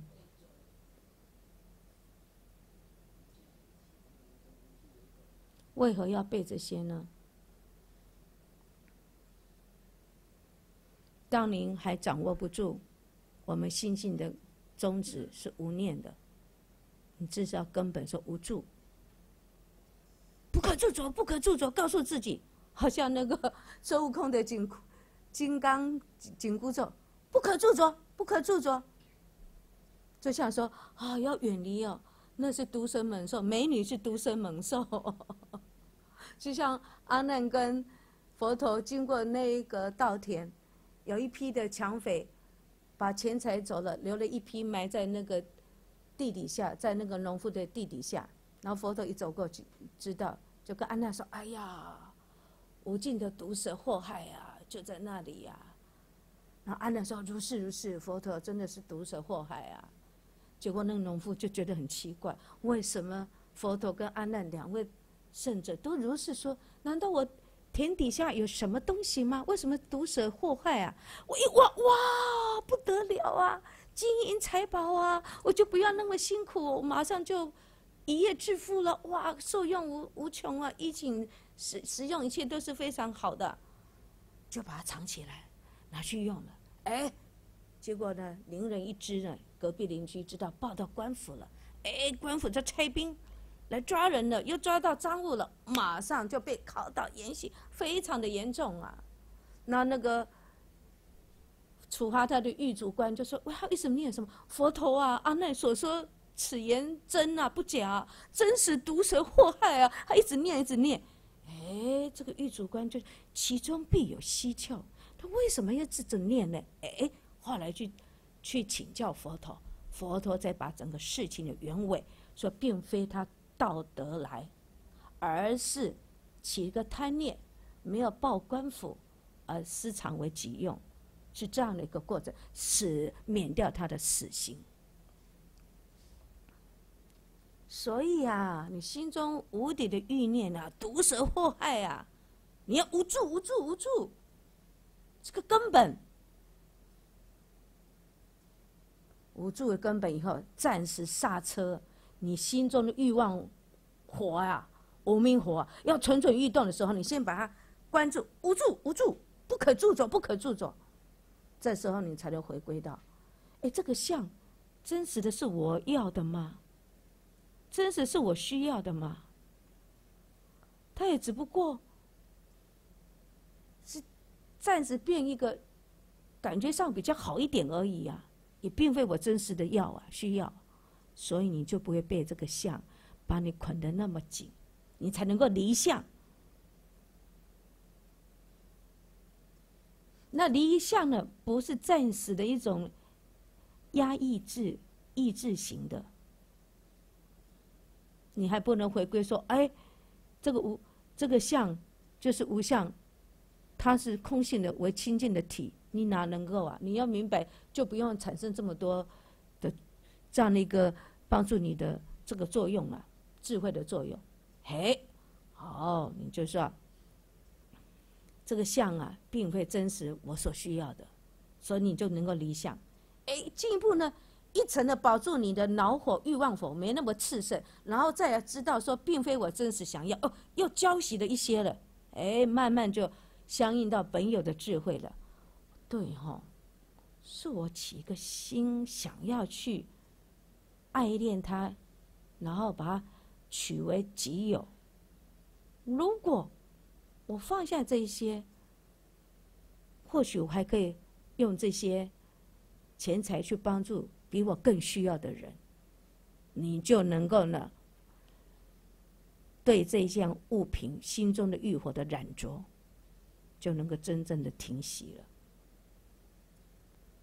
所以，经过这些的波折，都是智慧的作用，也就产生了功能了。功能让你怎么样？回到什么？真性常自在。说观自在菩萨行深般若波罗蜜多时，照见五蕴皆空，度一切苦厄啊！舍利子，就说咱们，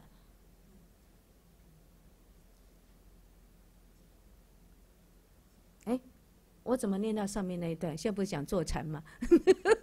跟上一段太相应了。所以，我对我对我说要考你们嘛哈，无念为宗，无相为体，无助为本。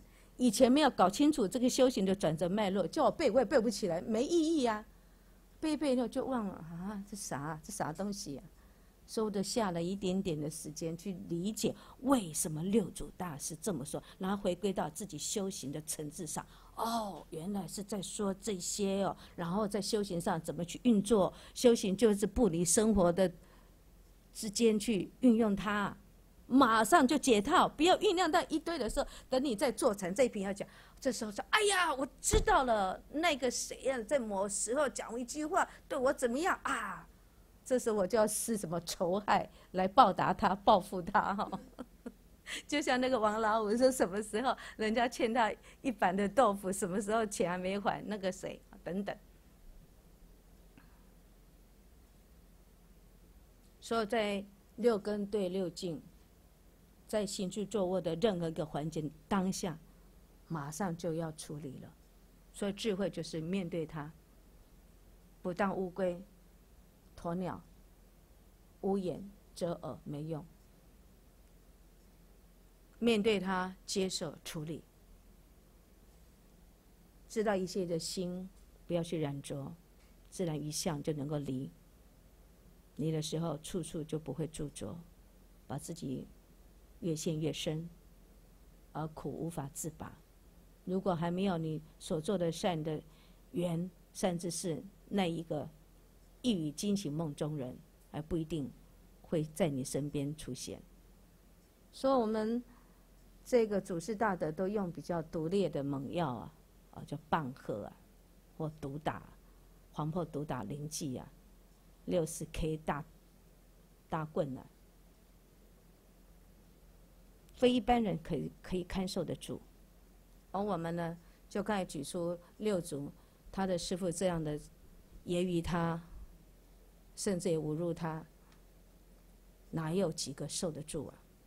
说你们善知识出家人不是最慈悲的吗？都和颜悦色的鼓励人，怎么讲出这么恶毒的、瞧不起别人的话呢？倘若不是真正的见性体悟的人，是无法。有这番的作为啊，作为是什么？不着心，不着境，也不是不动。所以六祖才会能够明白的心平气和跟他师父禀白，因为他他要认他为师嘛，礼师嘛，所以我说称他师父。说人有南北，佛性并没有南北之分。虽然我是来自岭南。没有水平的地方，知识文化水平。但是呢，我常不离的自信，就亲近智慧心。所以当下就是福田，而且我的心智就是证悟到为求作佛。他证悟的内涵、内涵跟气势是如此，就回到我们生命了。六祖何许人也？我命何许人也？亦若如是。说不要因为一时之间的一些小的挫败，就让自己呢不知如何了，越挫越勇。所以才不着心不着境，也不是不动。好，一定可以呢完满我们生命最伟大的志业，就是证悟自己本质的清净心。所以，若若说到你着心呢，心原本也是妄，因为也是空性啊，非真实存在，叫妄。那这里说为什么讲妄？这里就解释知心如幻。虽然是空性，但是它能够起幻化的作用。就刚才不是说真如本性能起念有没有？就是因为真如本性就是空性嘛。啊，空性它就是能够展现什么如幻的有啊，就真空妙有。所以你不能偏移一边，说是空性，空性才能够容许这么多的展现。这个展现的变化就有什么如幻有的作用。所以说，心源是妄。那知心如幻有，故无所着也。虽然有这个如幻的有的作用，人家觉得哎呦苦啊，或是很高兴啊，哎，如幻有，所以你不要沾沾自喜啊。问题是谁在沾沾自喜？就无我，怎么延伸到我所的受用的境界呢？就妄上加妄，就生死两大根本轮转。而又不知道本质清净、本质圆满，所以言着净这回事说人性本净，有妄念故，所以盖覆了我们的真如的本净。但因为真如不会因为你一念相应到无名啊，而这个妄念相应就是叫无名了，就我们的真如就有所。准先损减了没有？那个真如就空性了，你增它什么减它什么，无法动摇。所以六祖大师五个和序说：“何其自信，本不动摇。”就指这个啦，叫不增不减，不垢不净，是本质具足。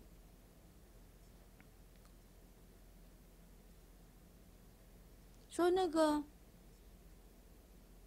龟山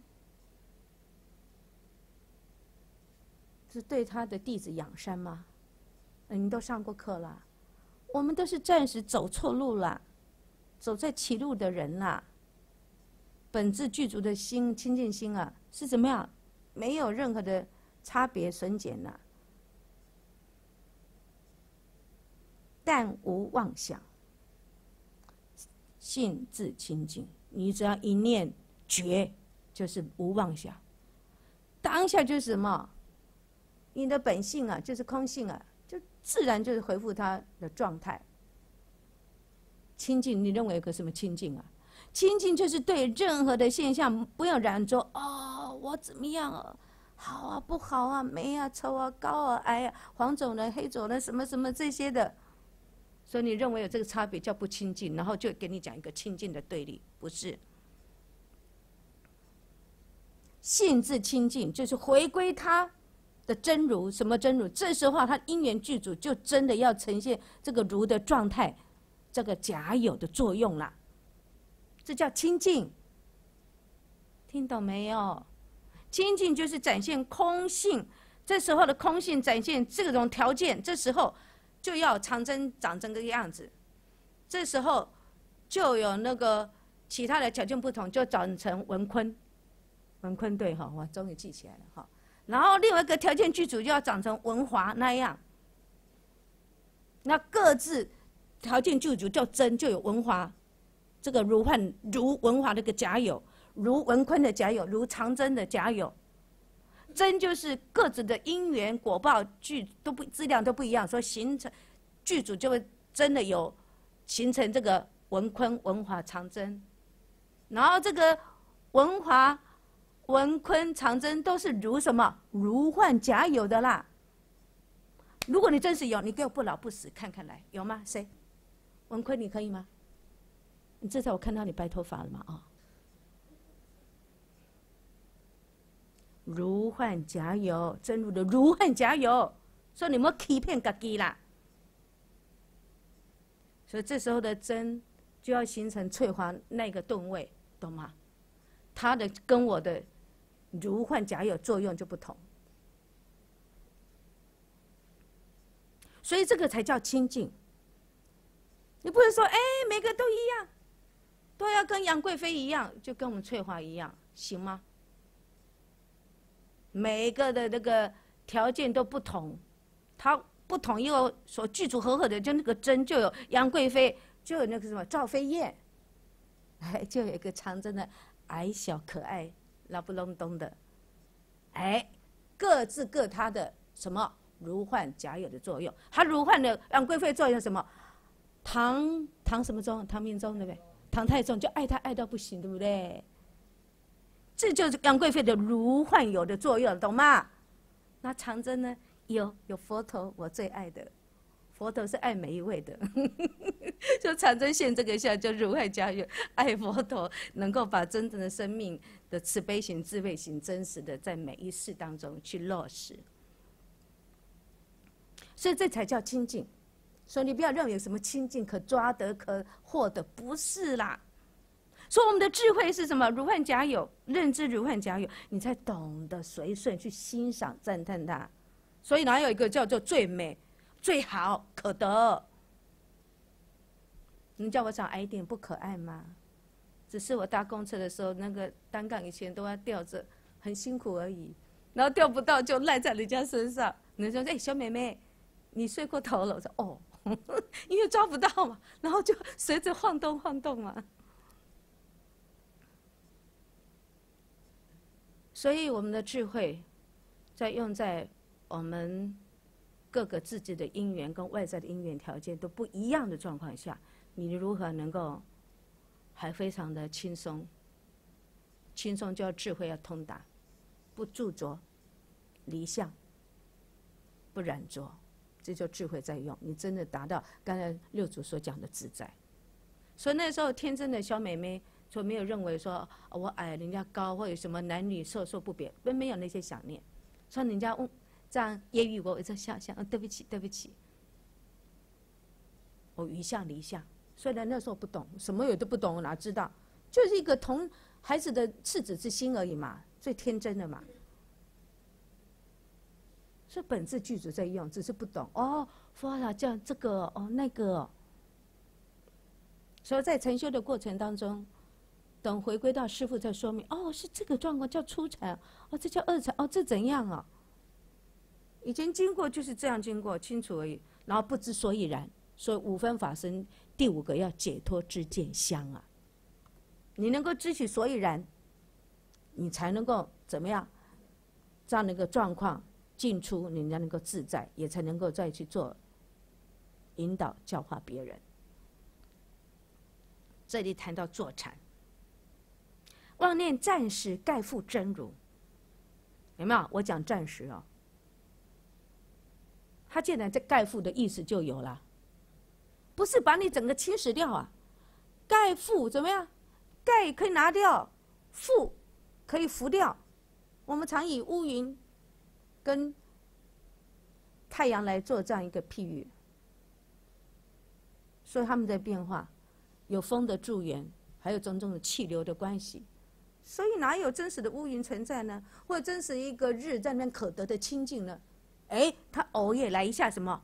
哎呀，乌云密布啊，或那个彩霞、光霞、彩霞满天呐！你看种种的变化，对不对？是不是很美啊？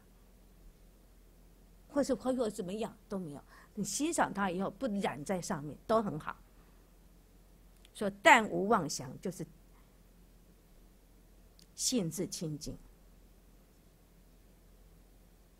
妄想本来就不实际存在，只不过我们现在没有办法收养，才给不得已给你说你要无掉，要放掉，要舍掉，双手恢复你原本的没有染着的心，该怎么样的因缘，它就真的要呈现怎么样因缘的作用。来，全班全盘接受，矮就矮，胖就胖，病就病，老就老。这叫不着心，不着境，也不着老病死，这才叫清净我们的心的功能，我们的生命生活才自在。起心着境，却生境妄。你起个心，哎呀，我先要断这个烦恼啊，我要证得菩提呀，我进入涅盘呐，这叫着境啊。你这样的话，就衍生了什么问题呀？静跟妄的对立，而不知道当下妄即是静，一觉就离这个相，心就不染着，有没有？刚才为什么要无念为宗，无相为体，无住为本？经典佛陀也这么教导我们：一觉即离呀。就刚才六祖大师教我们的，就什么无相，什么余相离相，回归这个法相，就是在法。的范畴里面，就当下就清净，所以清净为体，所以无五相为体的原因在此。然后你缺身静妄，进一步去看，你所对立的望无处所实际存在呀，望在哪里呀？你找来看看呐。你发现你的望里面的那个念的染着不断在变呐，变得当做妄也不断的在改变它的形象。你说那妄在哪里呀？你你静下来，不管你数息或拜佛或持咒，或者是在做你的定课，你心一静就哇，哇这念头啊，千变万化，无一固着啊。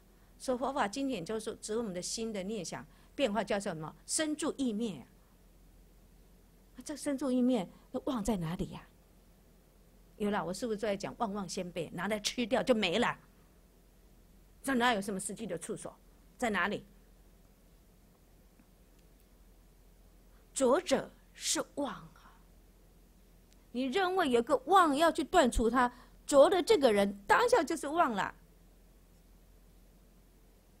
你的心不染浊，就不着坐在那个相上，哪来的妄啊？所以一绝。急什么？当下就清净，甚至我们六祖大师当下就是佛，就是丈夫。我今天跟他们上那个单元叫什么？因无所住而生其心吧，还是应该是这个部分？那当下一念觉，当下就是丈夫，天人是佛，所以因地上的佛平等，而在真正的以仗以无我平等的心去行菩萨道的时候的行为，叫做乘法行，不是颠倒，当然就是果地的圆满，跟所有的佛过去、现在、未来没有一个差别。当下肯定承担，一念觉当下就是佛，就是丈夫，舍我其谁？别人不敢不，我来，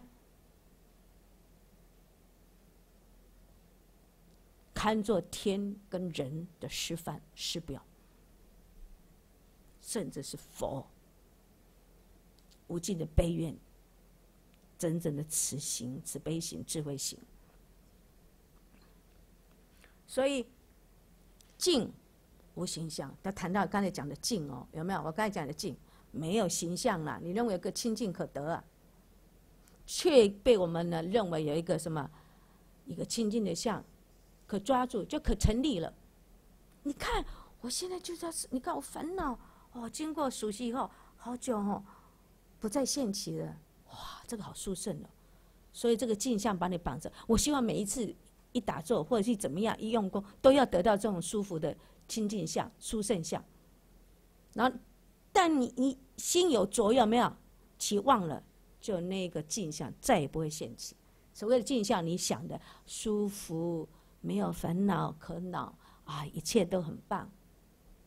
你起这个心，你就再不相应了，因为你的心有贪着染着，没有办法。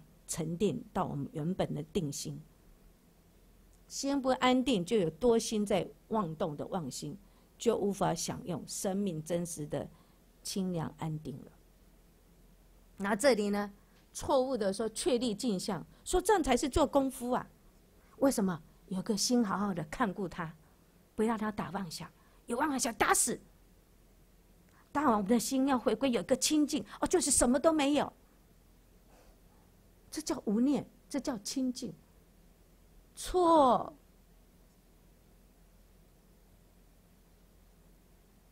六祖大师作此见者是仗自本性啊，本性的大作用，随你的业然是怎么变化？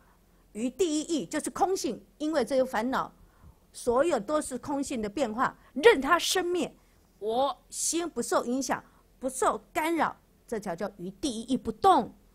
说任它，不管业障有多重，只怕你的觉迟了，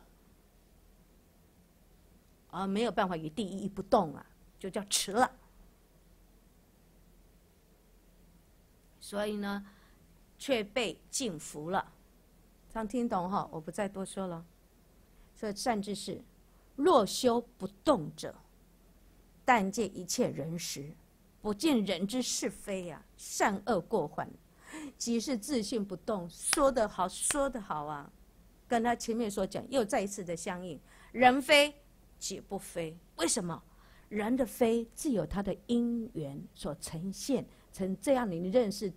在一般的舆论价值就叫做非，但是他就是不清楚，所以在这个因缘具足的这个真呢，他就会如呢现起他现在这个状况，而他这个状况刚好在我们这个时代的因缘框架下，是认为叫做什么？叫做不净。那你认为净跟不净实际存在吗？所以，它形成这样的一个状况，在社会价值的舆论框架下，这些让它具足了而形成的这样一个状况，表示这个也可以改变的。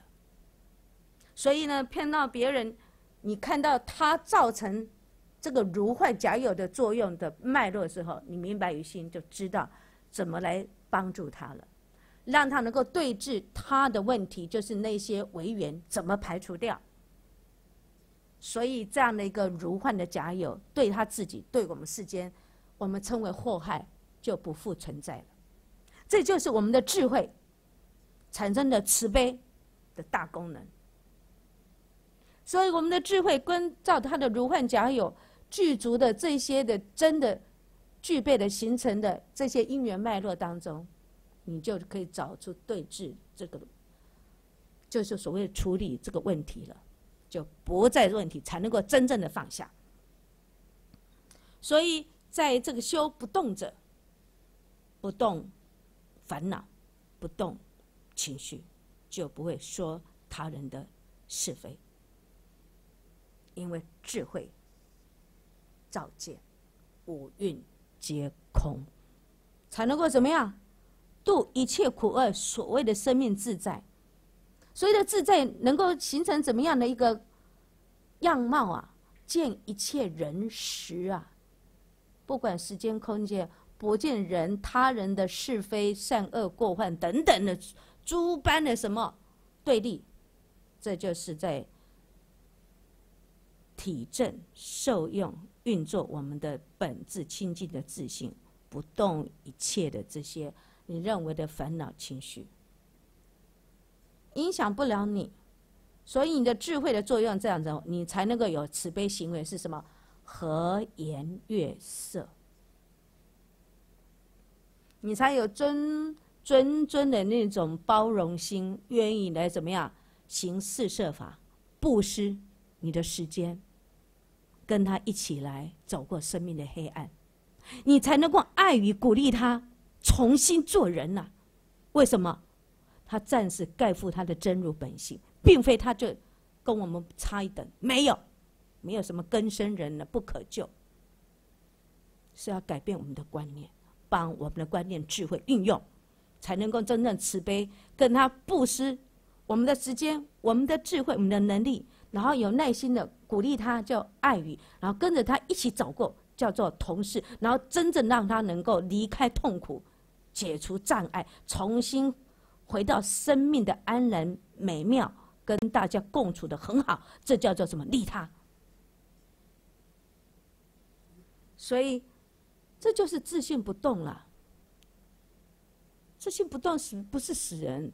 不动他人的是非善恶，种种过患，而能够找出问题症结，对治问题，然后对治问题就很多啦。菩萨行里面的很多叫四万八千法门啦，我只只不过举出其其中的四摄法而已啊。四摄法还要开展很多法门，你都学了没？你都知了吗？你都去用了吗？你真实的利益他们了吗？利益他人就是利益你自己了。那你想佛的格局是怎么来的？读了那么多的叫《大智度论》。或是什么什么什么论，论来论去，华山论剑，论的都是别人的是非，怎么办呢？而能够以自信不动，懂得欣赏，然后这个道德尺，价值判断，随着地域性、时间性、空间性，而智慧给他适当的、最恰当的一种调整。当然就免掉这些是非祸患、口舌之争了。所以，慧能大师不就前面吗？要避掉这个口争，有没有？还记得吧？哈，这个真就能够免除，因为我们的智慧在作用。好，善知识，迷人身虽不动，但是开口便说他人是非长短好。物与道违背，真的是说中了我们一般人的通病。因为我们的智慧通达不了每一个事项或人的这些因缘脉脉络，就是陷入到你看到了最为真实，就只取那一片段，就要想要概全，就有了这些的对立了。是因为智慧通达不了，才有这些问题的呈现。当你智慧通达不了，怎么样？六祖大师告我们，告诉我们：闭上嘴，闭口真言。人非己不非。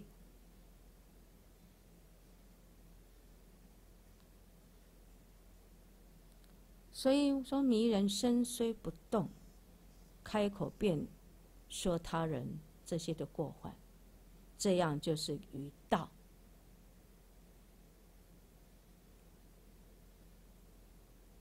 那个是道，并不是说说道家的那个道，是借用来的字，也就是指空性，展现在山河大地的法性，暂时的沉住坏空，如幻的假有，你善珍舍爱护，不见他。不浪费，而在空性呈现在我们有情众生的人，或是畜生道，这个叫佛性。我们就要再把佛性展现在人性当中，一切都要什么？美、良善、美满、和和。就是以所谓的以身战身，去赞叹、随喜、鼓励、启发正面的佛性的这个能量，而不是污蔑、毁谤、侮辱，只有恶性、颠倒的循环。但是你是智慧的前导，知道问题在哪里，你才能够从那个症结。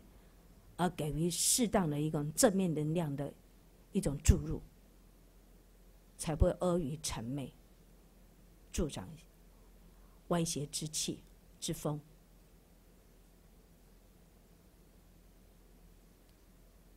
那这样的道，在我们的山河大地，知我们的法性空性，知我们的佛性，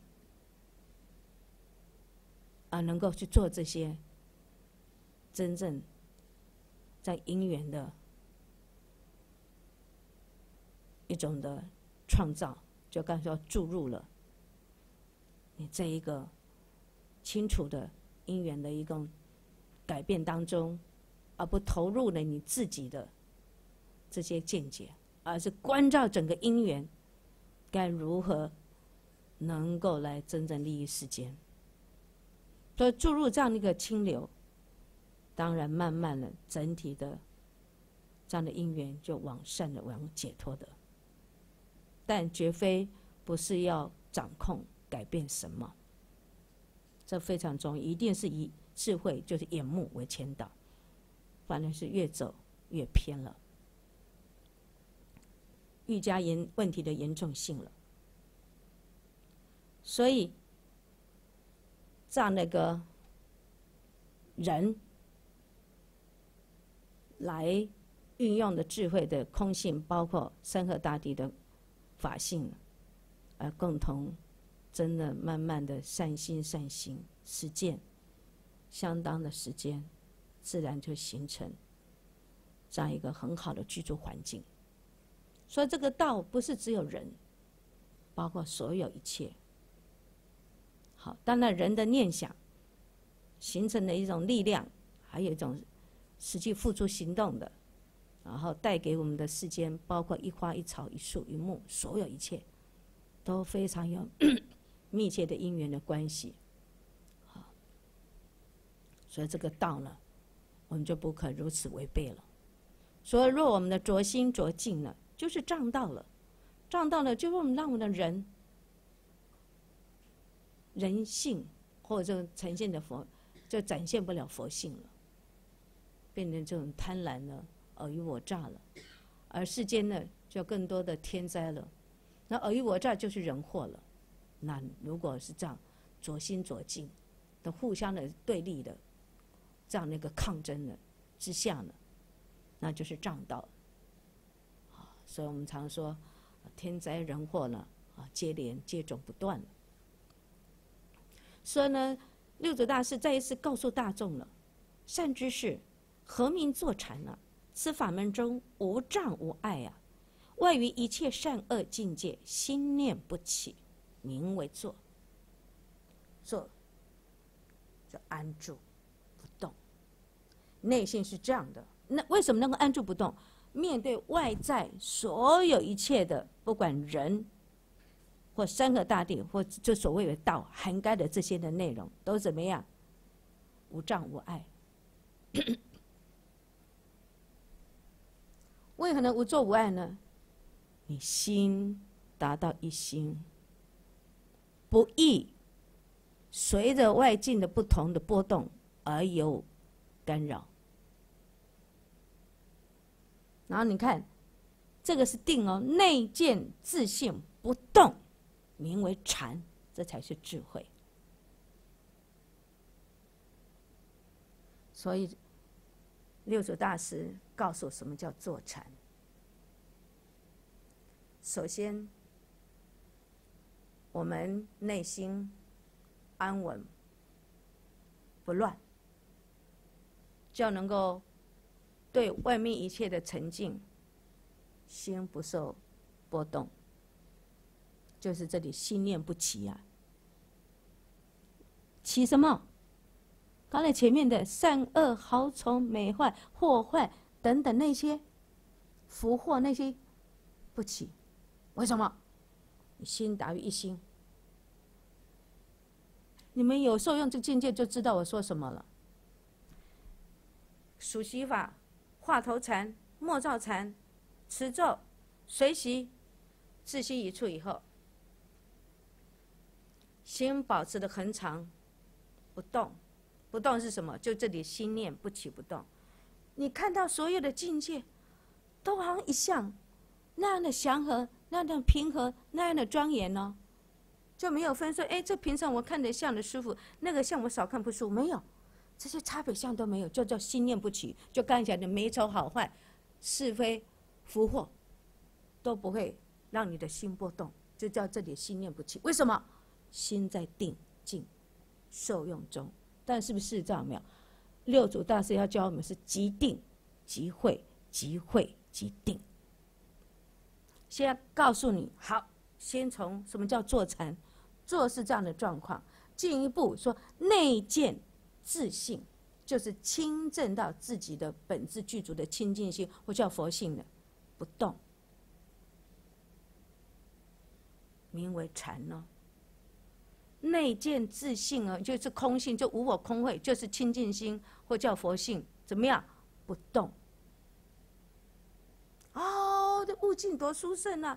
有一个美妙无云、无烦、无热、清凉的境界啊！哇，心产生的喜悦，你看我们在三禅呐，叫定生喜乐。啊内见到自信是不动啊，所以后面到第四禅要怎么样？舍掉维系的乐，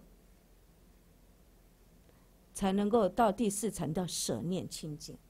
然后我们佛法的所证悟的这个解脱的智慧，叫做什么？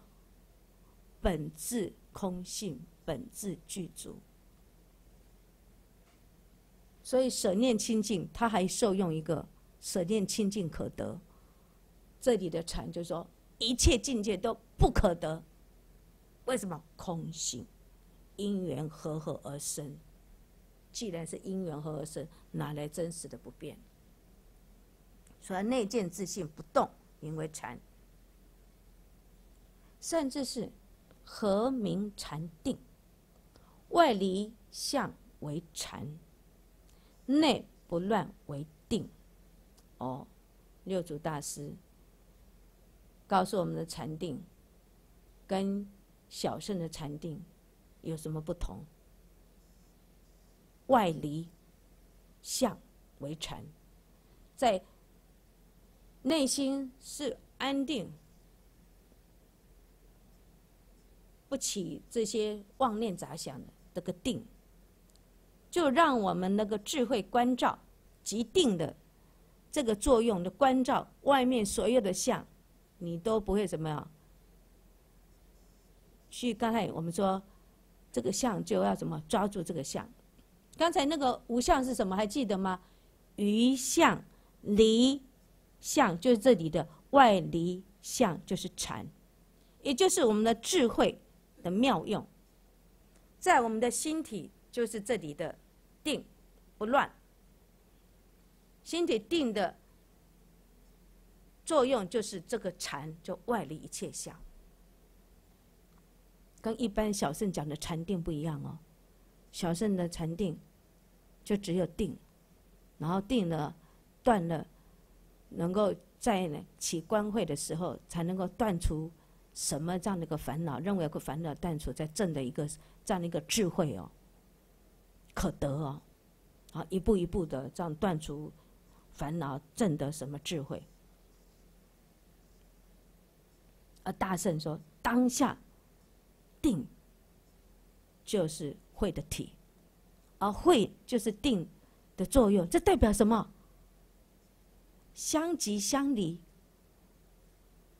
并没有两个对立的作用，叫同一体，都是缘起性空。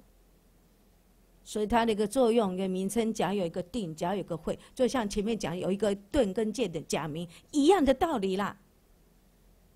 你要是通的，都处处都可以明白所说的，你的智慧就可以妙用在任何的文字语言跟实际作用的面对生命的这些的情境，这些的法万法都不会迷惑。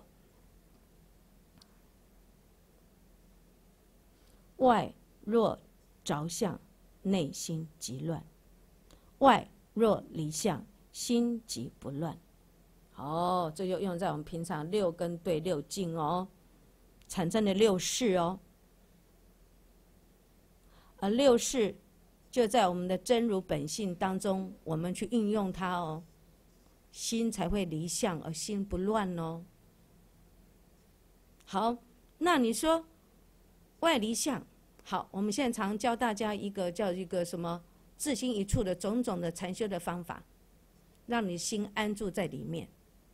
那安住刚开始，你也是起起落落啊，对着外面的音声啊，内心的种种的起妄想的念也是跟着波动。说没关系，不断的放，回到最安全的方法，回到方法上。这个就要让你怎么样？在心在乱的时候找这个相，现在把这个心啊找在哪里？有一个禅修的方法，让你的心安住在这里的时候，让很多千千万万的妄念慢慢止息，慢慢止息，让你心一直安住在这个最大的妄念这个方法上，慢慢的心就有这样的功能。怎么样？恢复到平静不乱，连你使用的方法的数字也会不见了。不是睡着了或妄念乱的不见，不是心定了细了，这个数字就很粗了，或是你移情很粗糙，也慢慢都会转变，一切都是空性转变当中，修行的转折也一样。当你有经过来的人才知道所说的在指什么，清常之，冷暖自知。所以在这里。告诉你，六根对着六沉浸接触产生的六事，也就是我们心能够产生这个事，就是分别的时候，要怎么样？不要着相。着相什么？我现在腿好痛哦，哎呀，心好烦恼，这个方法用不上啊，这就找这个相。想告诉你，丢开。你丢开心，就不受它干扰的时候，自然就会怎么样？不乱了，不乱的话，再教你这个方法，就用的越来越成熟。包括你在拜佛一样，清清楚楚、缓慢的、心安定的拜，你就能够脱离腰酸腿痛、繁杂的心、不定的心。所以这是有方法的。方法的时候。你如果在这个形成的这好坏的相对立，好的像一样哦，不要着啊，迷着啊，执着啊，执取啊，就告诉你怎么样离相，心就不乱，很简单。你们就不相信啊？腿真实的痛啊，就是认为一个真实的痛，所以你不相信。说回到方法，你说你的，我做我的，结果痛是痛死谁？你自己，每次都从头来，从头来。不断的在这么浪费时间，所以要你心能够不乱，就是要离开你身心所有的苦乐，所有的对立的相，不管进或会，通通丢。这我是比喻的其中的一一组的相了。我们慧能大师只有在后面的迹象当中，我们没有取说有三十六对，有没有？哦，有哈，再有更点头就好了。其他人自己去看，因为我也没有背。真的是如此啦。所以外若离相，心即不乱，本性自净自定啦。你离了，你不沾着上面财你的心本来就是这样的作用，是你认为它一个真实的。哎，真是腿好痛哦，引擎怎么不打？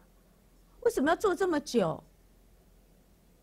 你心着在一个真实的什么腿痛心烦，还有放不下的东西，你就抓住它很真实，告诉你是空性，并非实际存在。你那时候你没相应没关系，你只要离，说哎，非真实，嗯，不住。你离了以后，新的功能就展现了啦。啊，真的，你才知道何等殊胜妙用啊！生命本来就是要这样子的，才是叫优的生命品质啊！本性自净自定，这就是生命最优的品质了。只因为渐进，就来浊静，叫失静，心就乱了。没看到？渐掉嘛嘎啊，念掉卡，这叫渐进。然后浊是什么？失禁就啊叫阿爸给你买低卡给我吃，啊吃不掉心就很乱，晚上睡不着，失眠，然后跟老爸一直吵，跟一直吵吵吵。所以只因为渐进失禁，所以你看见了以后，你就继续再怎么样抓取了，变著作就失禁了，失的那个境界，一直要把。占为己有，那心就很乱，不得灵了。所以你心的这种妙功能、妙作用就施展不开来，你就被把自己给困住了。若见诸境心不乱者，是真定也。对，常常国罗师傅在考验，看他在教的弟子，真的是是不是真的本质的定自定有没有作用？真的很感谢家师。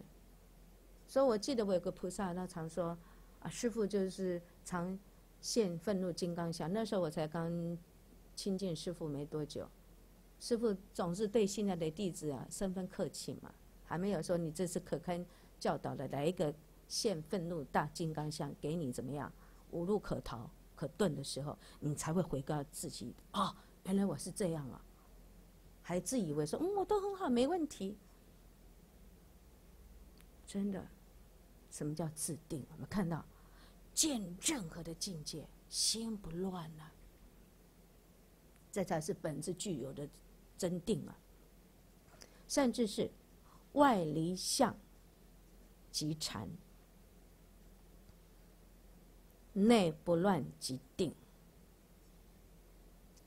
外禅内定是为禅定。你看，跟小生的禅定只有偏于定，而这里是定会不二，乃至即定即会，即会即定，会即定的作用，定。即会的体，没有定的正体安然。你像风中的残烛的，那个智慧，就像风中残烛，嘘，一吹即熄。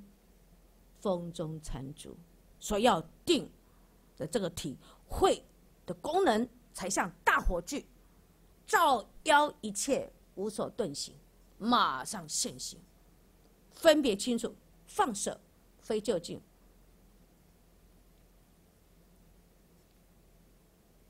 所以，我们内心跟前面所讲的“内不乱即定”，也就是前面讲哦一样的禅定的定义，“内不乱为定”，包括这里前面所讲的，这里心念不起为坐定。我刚才是这么解释。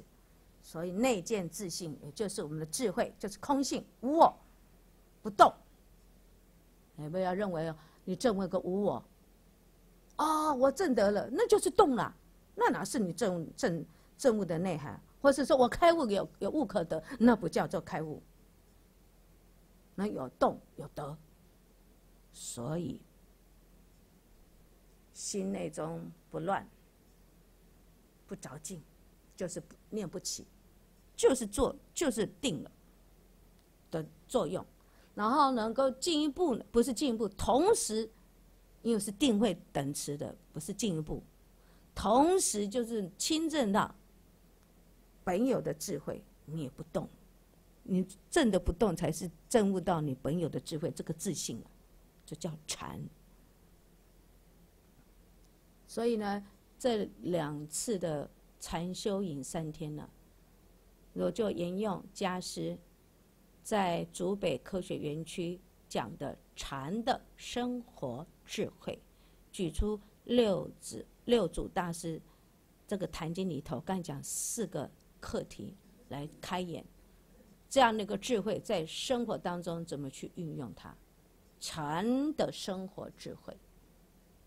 所以这里讲，你的智慧怎么运用呢？当下你的内心就是不乱，就是安定，而且相应到自己本有的智慧，所以对任何事情，当然就是。能够智慧关照，心念不起而不动，所以这里讲的禅定就很清楚了，界定了大圣的禅定，外离相即禅的智慧，知道所有一个相都是因缘当体和合空，不仅空故，因空故才叫清净，才叫圆满。所以当然内不乱就是定了，外禅内定是为禅定。菩萨戒经说了，我。你不认为一个真实的我，这个我是经过自己体证的自信，是清净圆满的空性的，叫清净圆满，才叫做我。所以佛法的修行是什么？不掉落在掉落在小圣讲的什么无常苦空，而修行生命真正刚才讲的是什么？这个自定。自什么安然？是你当大家都没有回应给我，我自己在看。说刚才讲说真自信有没有？真自定有没有？才是真定真性有没有？这才是生命的真自在。所以这个我就是什么？修行以后的真自在叫常乐我净。说这里的我是指什么？是与无我相应的，用这个这一期如幻的这个假我，而来做什么？菩萨行在这个道上去做无量菩萨行的相应。所以这个我原我本源自信清净。所以一般的凡夫认为有个一个真实的常，哎呦不要死。然后呢，认为一个真实不变的灵魂可抓取，然后认为死后以后什么都没有就断灭，所以就很苦。所以就认为是无常，这样一个颠倒。啊，一切就是空，他认为空就什么都没有的，很可怕的，就是断灭了。苦，空。无常，我认为一个无我，那什么都没有了。笛卡尔，我思故我在，我不在，什么都就不存在了。这样的断灭，会认为一个什么真实的一个灵魂不变，告诉我们阿赖耶识怎么样？大仓库，好坏境界回熏再现行再回熏，不断变化。哪有个恒常不变的一个灵魂？说说就换了一个一个一间，换了一个身体，换了一个什么的？这中间有多少因缘果啊？在变化当中，才会筹报成你现在在人道，好感恩哦！至少持五戒啊，而且五戒里呢还有那个六根玩具啊，没有瞎眼、耳聋、断腿、手。不见，还没有心狂，说很感恩这个人生啊，而能够听闻大法正法，能真正利益世间呐，自己又能够证悟，我们都不珍惜。所以跟凡夫的四颠倒，跟小圣的四颠倒、八颠倒，完全能能够一一通过，不再是颠倒。而正的生命，真正的常乐我净。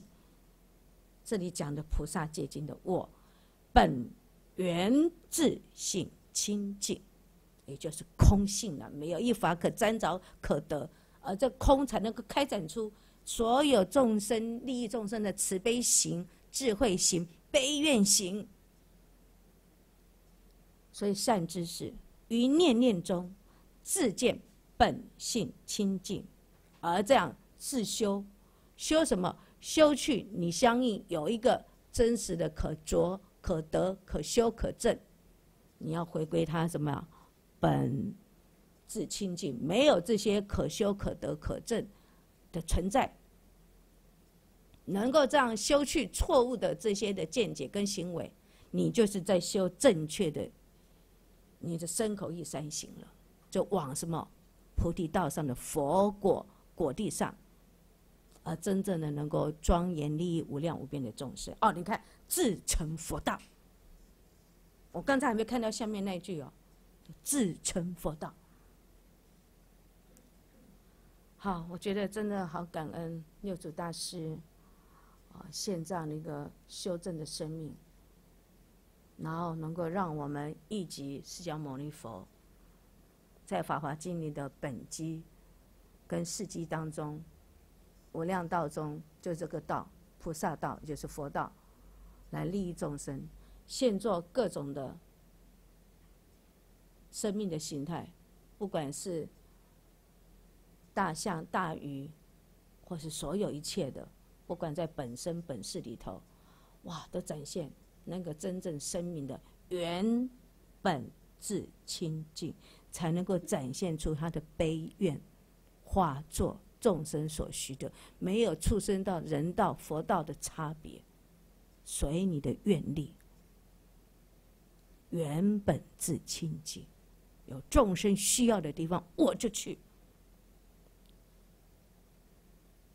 真的好感恩，好感念啊！所以要把它背下来呀。念念中，六祖大师告诉我们：念于念念中，自见本性清净，自修自行，自成佛道。你自念自信清净，你自然就不见他人非呀。他的是非善恶福祸，你就不会了。你就明确了自己本质具足的清净，而念念相应到贪嗔痴慢疑，才会他人没飞，你先飞过去了。啊，我们果如师傅说那个小飞象 就飞过去，人家小飞象是怎么样能够飞上来，然后不跟人家撞在一块儿。我们要当那个小飞象，那个飞是是非的飞，就是无相的意思啦。你的心中不起这个念的染着了，同音啊，谐音，你们不同的意涵哦。所以要自见本性清净，这样才是自修自行正确的这样那个修行的方式跟态度，那就能够自成佛道啊。好，我们今天这个到这边啊，真的下礼拜要开展。家师上果下如师傅谈的六祖坛经实会第一本，那十五分钟给你们开放问问题啊！终于有一次可以时间充裕一点，可以提问问题，或者分享你的受用所在。然后我先提一个问题啊，而不是问题啦。如果在这本书当中都有文章了，我还需要打出这个投影片吗？但问题，大陆的菩萨，国外的菩萨呢？是看不到哈。猪脚，哎，那大家认为我已经请菩萨帮我打了，但是他就动作还没有时间充裕能够打出来，需要打吗？因为是有电子档，我们的书有电子档，就贴下来。Copy 到这个页面，页面这样，打重点。当然，我不可能把里面的长行都打错，你们一定看得眼花缭乱。这那个英经文引文，嗯哼哼，好了，我尽力请我那个菩萨做了，我就是按照那个经文里头有吗？有那个经文里头，还有唐义玄老师对这个经文里头。引述你哎，对对对对，那它上面不是写说什么基本教材吗？还有经文的原意吗？我会按照这样来做里面的说明。然后你觉得我说明法师你说不对，然后国路法师说在，哎，咱们才能够踢馆，对不对？哈，你们才有交流嘛。不然每次我这边讲个嘴角真破，一卡无人要插我。啊，哥起码十几分讲有问题不？啊，我想要下课回家了，没问题了。我听您讲。拍谁？我这个是太孩子性的，太调皮了。真的，大家有什么有什么想法，或有什么看法，或对我们班上上课有什么建议？人家我们那个讲菩萨光吼，你起码给他老在故意西中的嘞，始终听得懂吧？哦，我天呗！有了，我们今天多一个，上次他来一两次，今天又再回来。其实人多与少的，真的，这就是。哦，我我知道，我知道，但是现场有 life 啊，活生生的感觉啊，那个冷冰冰我又看不到，虽然他留话给我，哎呦，wonderful，wonderful 又如何？啊，对对对，我不会洗干豆腐。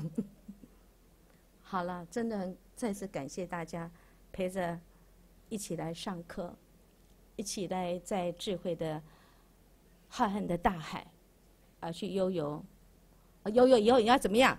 内见自信不动，才叫做什么？啊，对对，哎呦，谁要赞哦。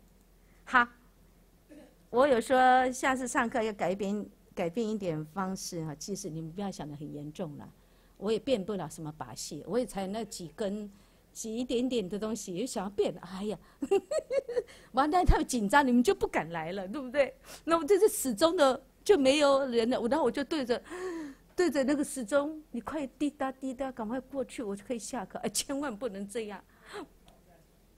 啊？什么什么？哦，挑战。好啦。好好，不会啦，我会把一些重要的变这个问题的方式啊来提问，大家就是去做思维。那思维之后，然后稍有讨论，我再做里面的意涵的解释。为什么呢？因为里面家是已经说的很明白了，何让我唇舌呢？实惠的意思就是把六祖大师里面的节录里面里面的智慧之语，我们能够怎么样受用多少就是多少。没有没有完全把里面的坛经都补足了，有一些跳过，所以叫节录了，所以他就用实惠了。所以分成一。哦，好戏！现在第二已经出了，我还没有时间看。我因为我师傅还没有看，他都看好以后说：“哎，长征来，这里改，这里改，那里改，改改改改改好了以后，哎，你还再看一遍呢？啊，结果就还是有一些错别字。那那个都是经义没有问题的，我师傅认可过的，那才换我再把那些稍微再改一下而已了，哈。所以应该会出到第六本至少，哇！那我们就有很有得上，对不对？哎，不行，我这才一年，我只答应，人家只不是我答应，人家只给我一年，对不对？好，没关系，有多少我们就尽心尽力去做就对了。好，所以就说，以嘎以这个外啊，诸相怎么样？不乱，有没有？不乱哦，内见自信不动哦，然后怎么样？自修自行才是。自成佛道，好，不要见别人的是非啊。好，根本都没问题啊。我们提早下课十分。好好好好，终于有了。你要说经律论哈，照这个那个经典的来讲，这个经照理说一般都是佛说的，可是六祖坛经非佛说的，那他在我们中国的话，他是自自己成一体，只有我们中国有六祖坛经，嗯，其他地方都没有六祖坛经。那这个六祖坛经在这个佛典里面，它的地位是放在什么地方？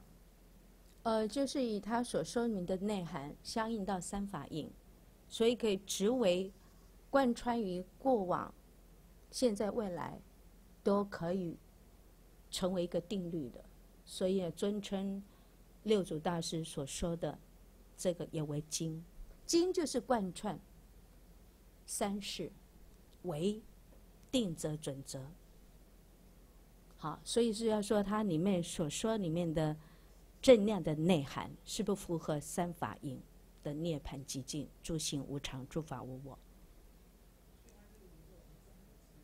当然，当然，在南传根本谈不上有这个六祖坛经，对不对？他们找不到的，甚至他们认定的佛也只有释迦牟尼佛，啊，没有什么阿弥陀佛，或什么药师佛，没有的。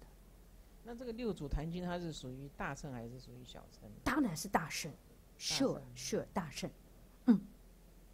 所以刚才我一直强调即定即会即会即定哦。所以刚才讲的禅定就有别于小圣的不一样的。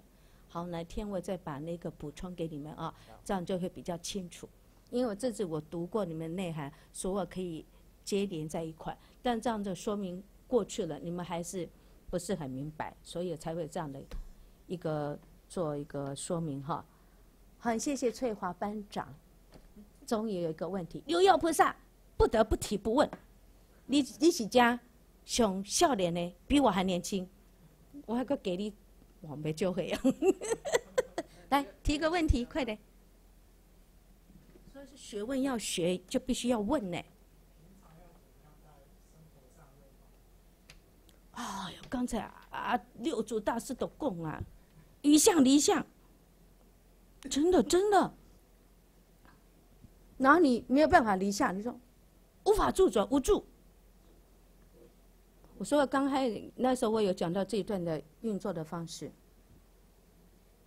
当你在相没有办法按耐住，你就告诉我们政治界，一切法无法著着，一层一层的浇熄着我们那个蠢蠢欲动的无名的恼火，要引发出其他的行为的时候，然后呢，回到你所这个压住的一个政治键，让你先远离现场，你不会现行犯了以后，然后再用你的方法，你平常是熟悉的话头的。或是什么随喜的或持咒的用上来，心就能够怎么不乱，就会定了，就不会随那边那个人就想 K 我，想恼火我，哎，不动了，你就转会成这个这个烦恼火，就智慧的莲花哦，就你智慧的莲花就说，哎，如意妙术，你就可以四两拨千斤，真的我有做过了，嚯，人家就怎么啊，好好好好，不是师傅了哈，别人了，以前工作一样啊。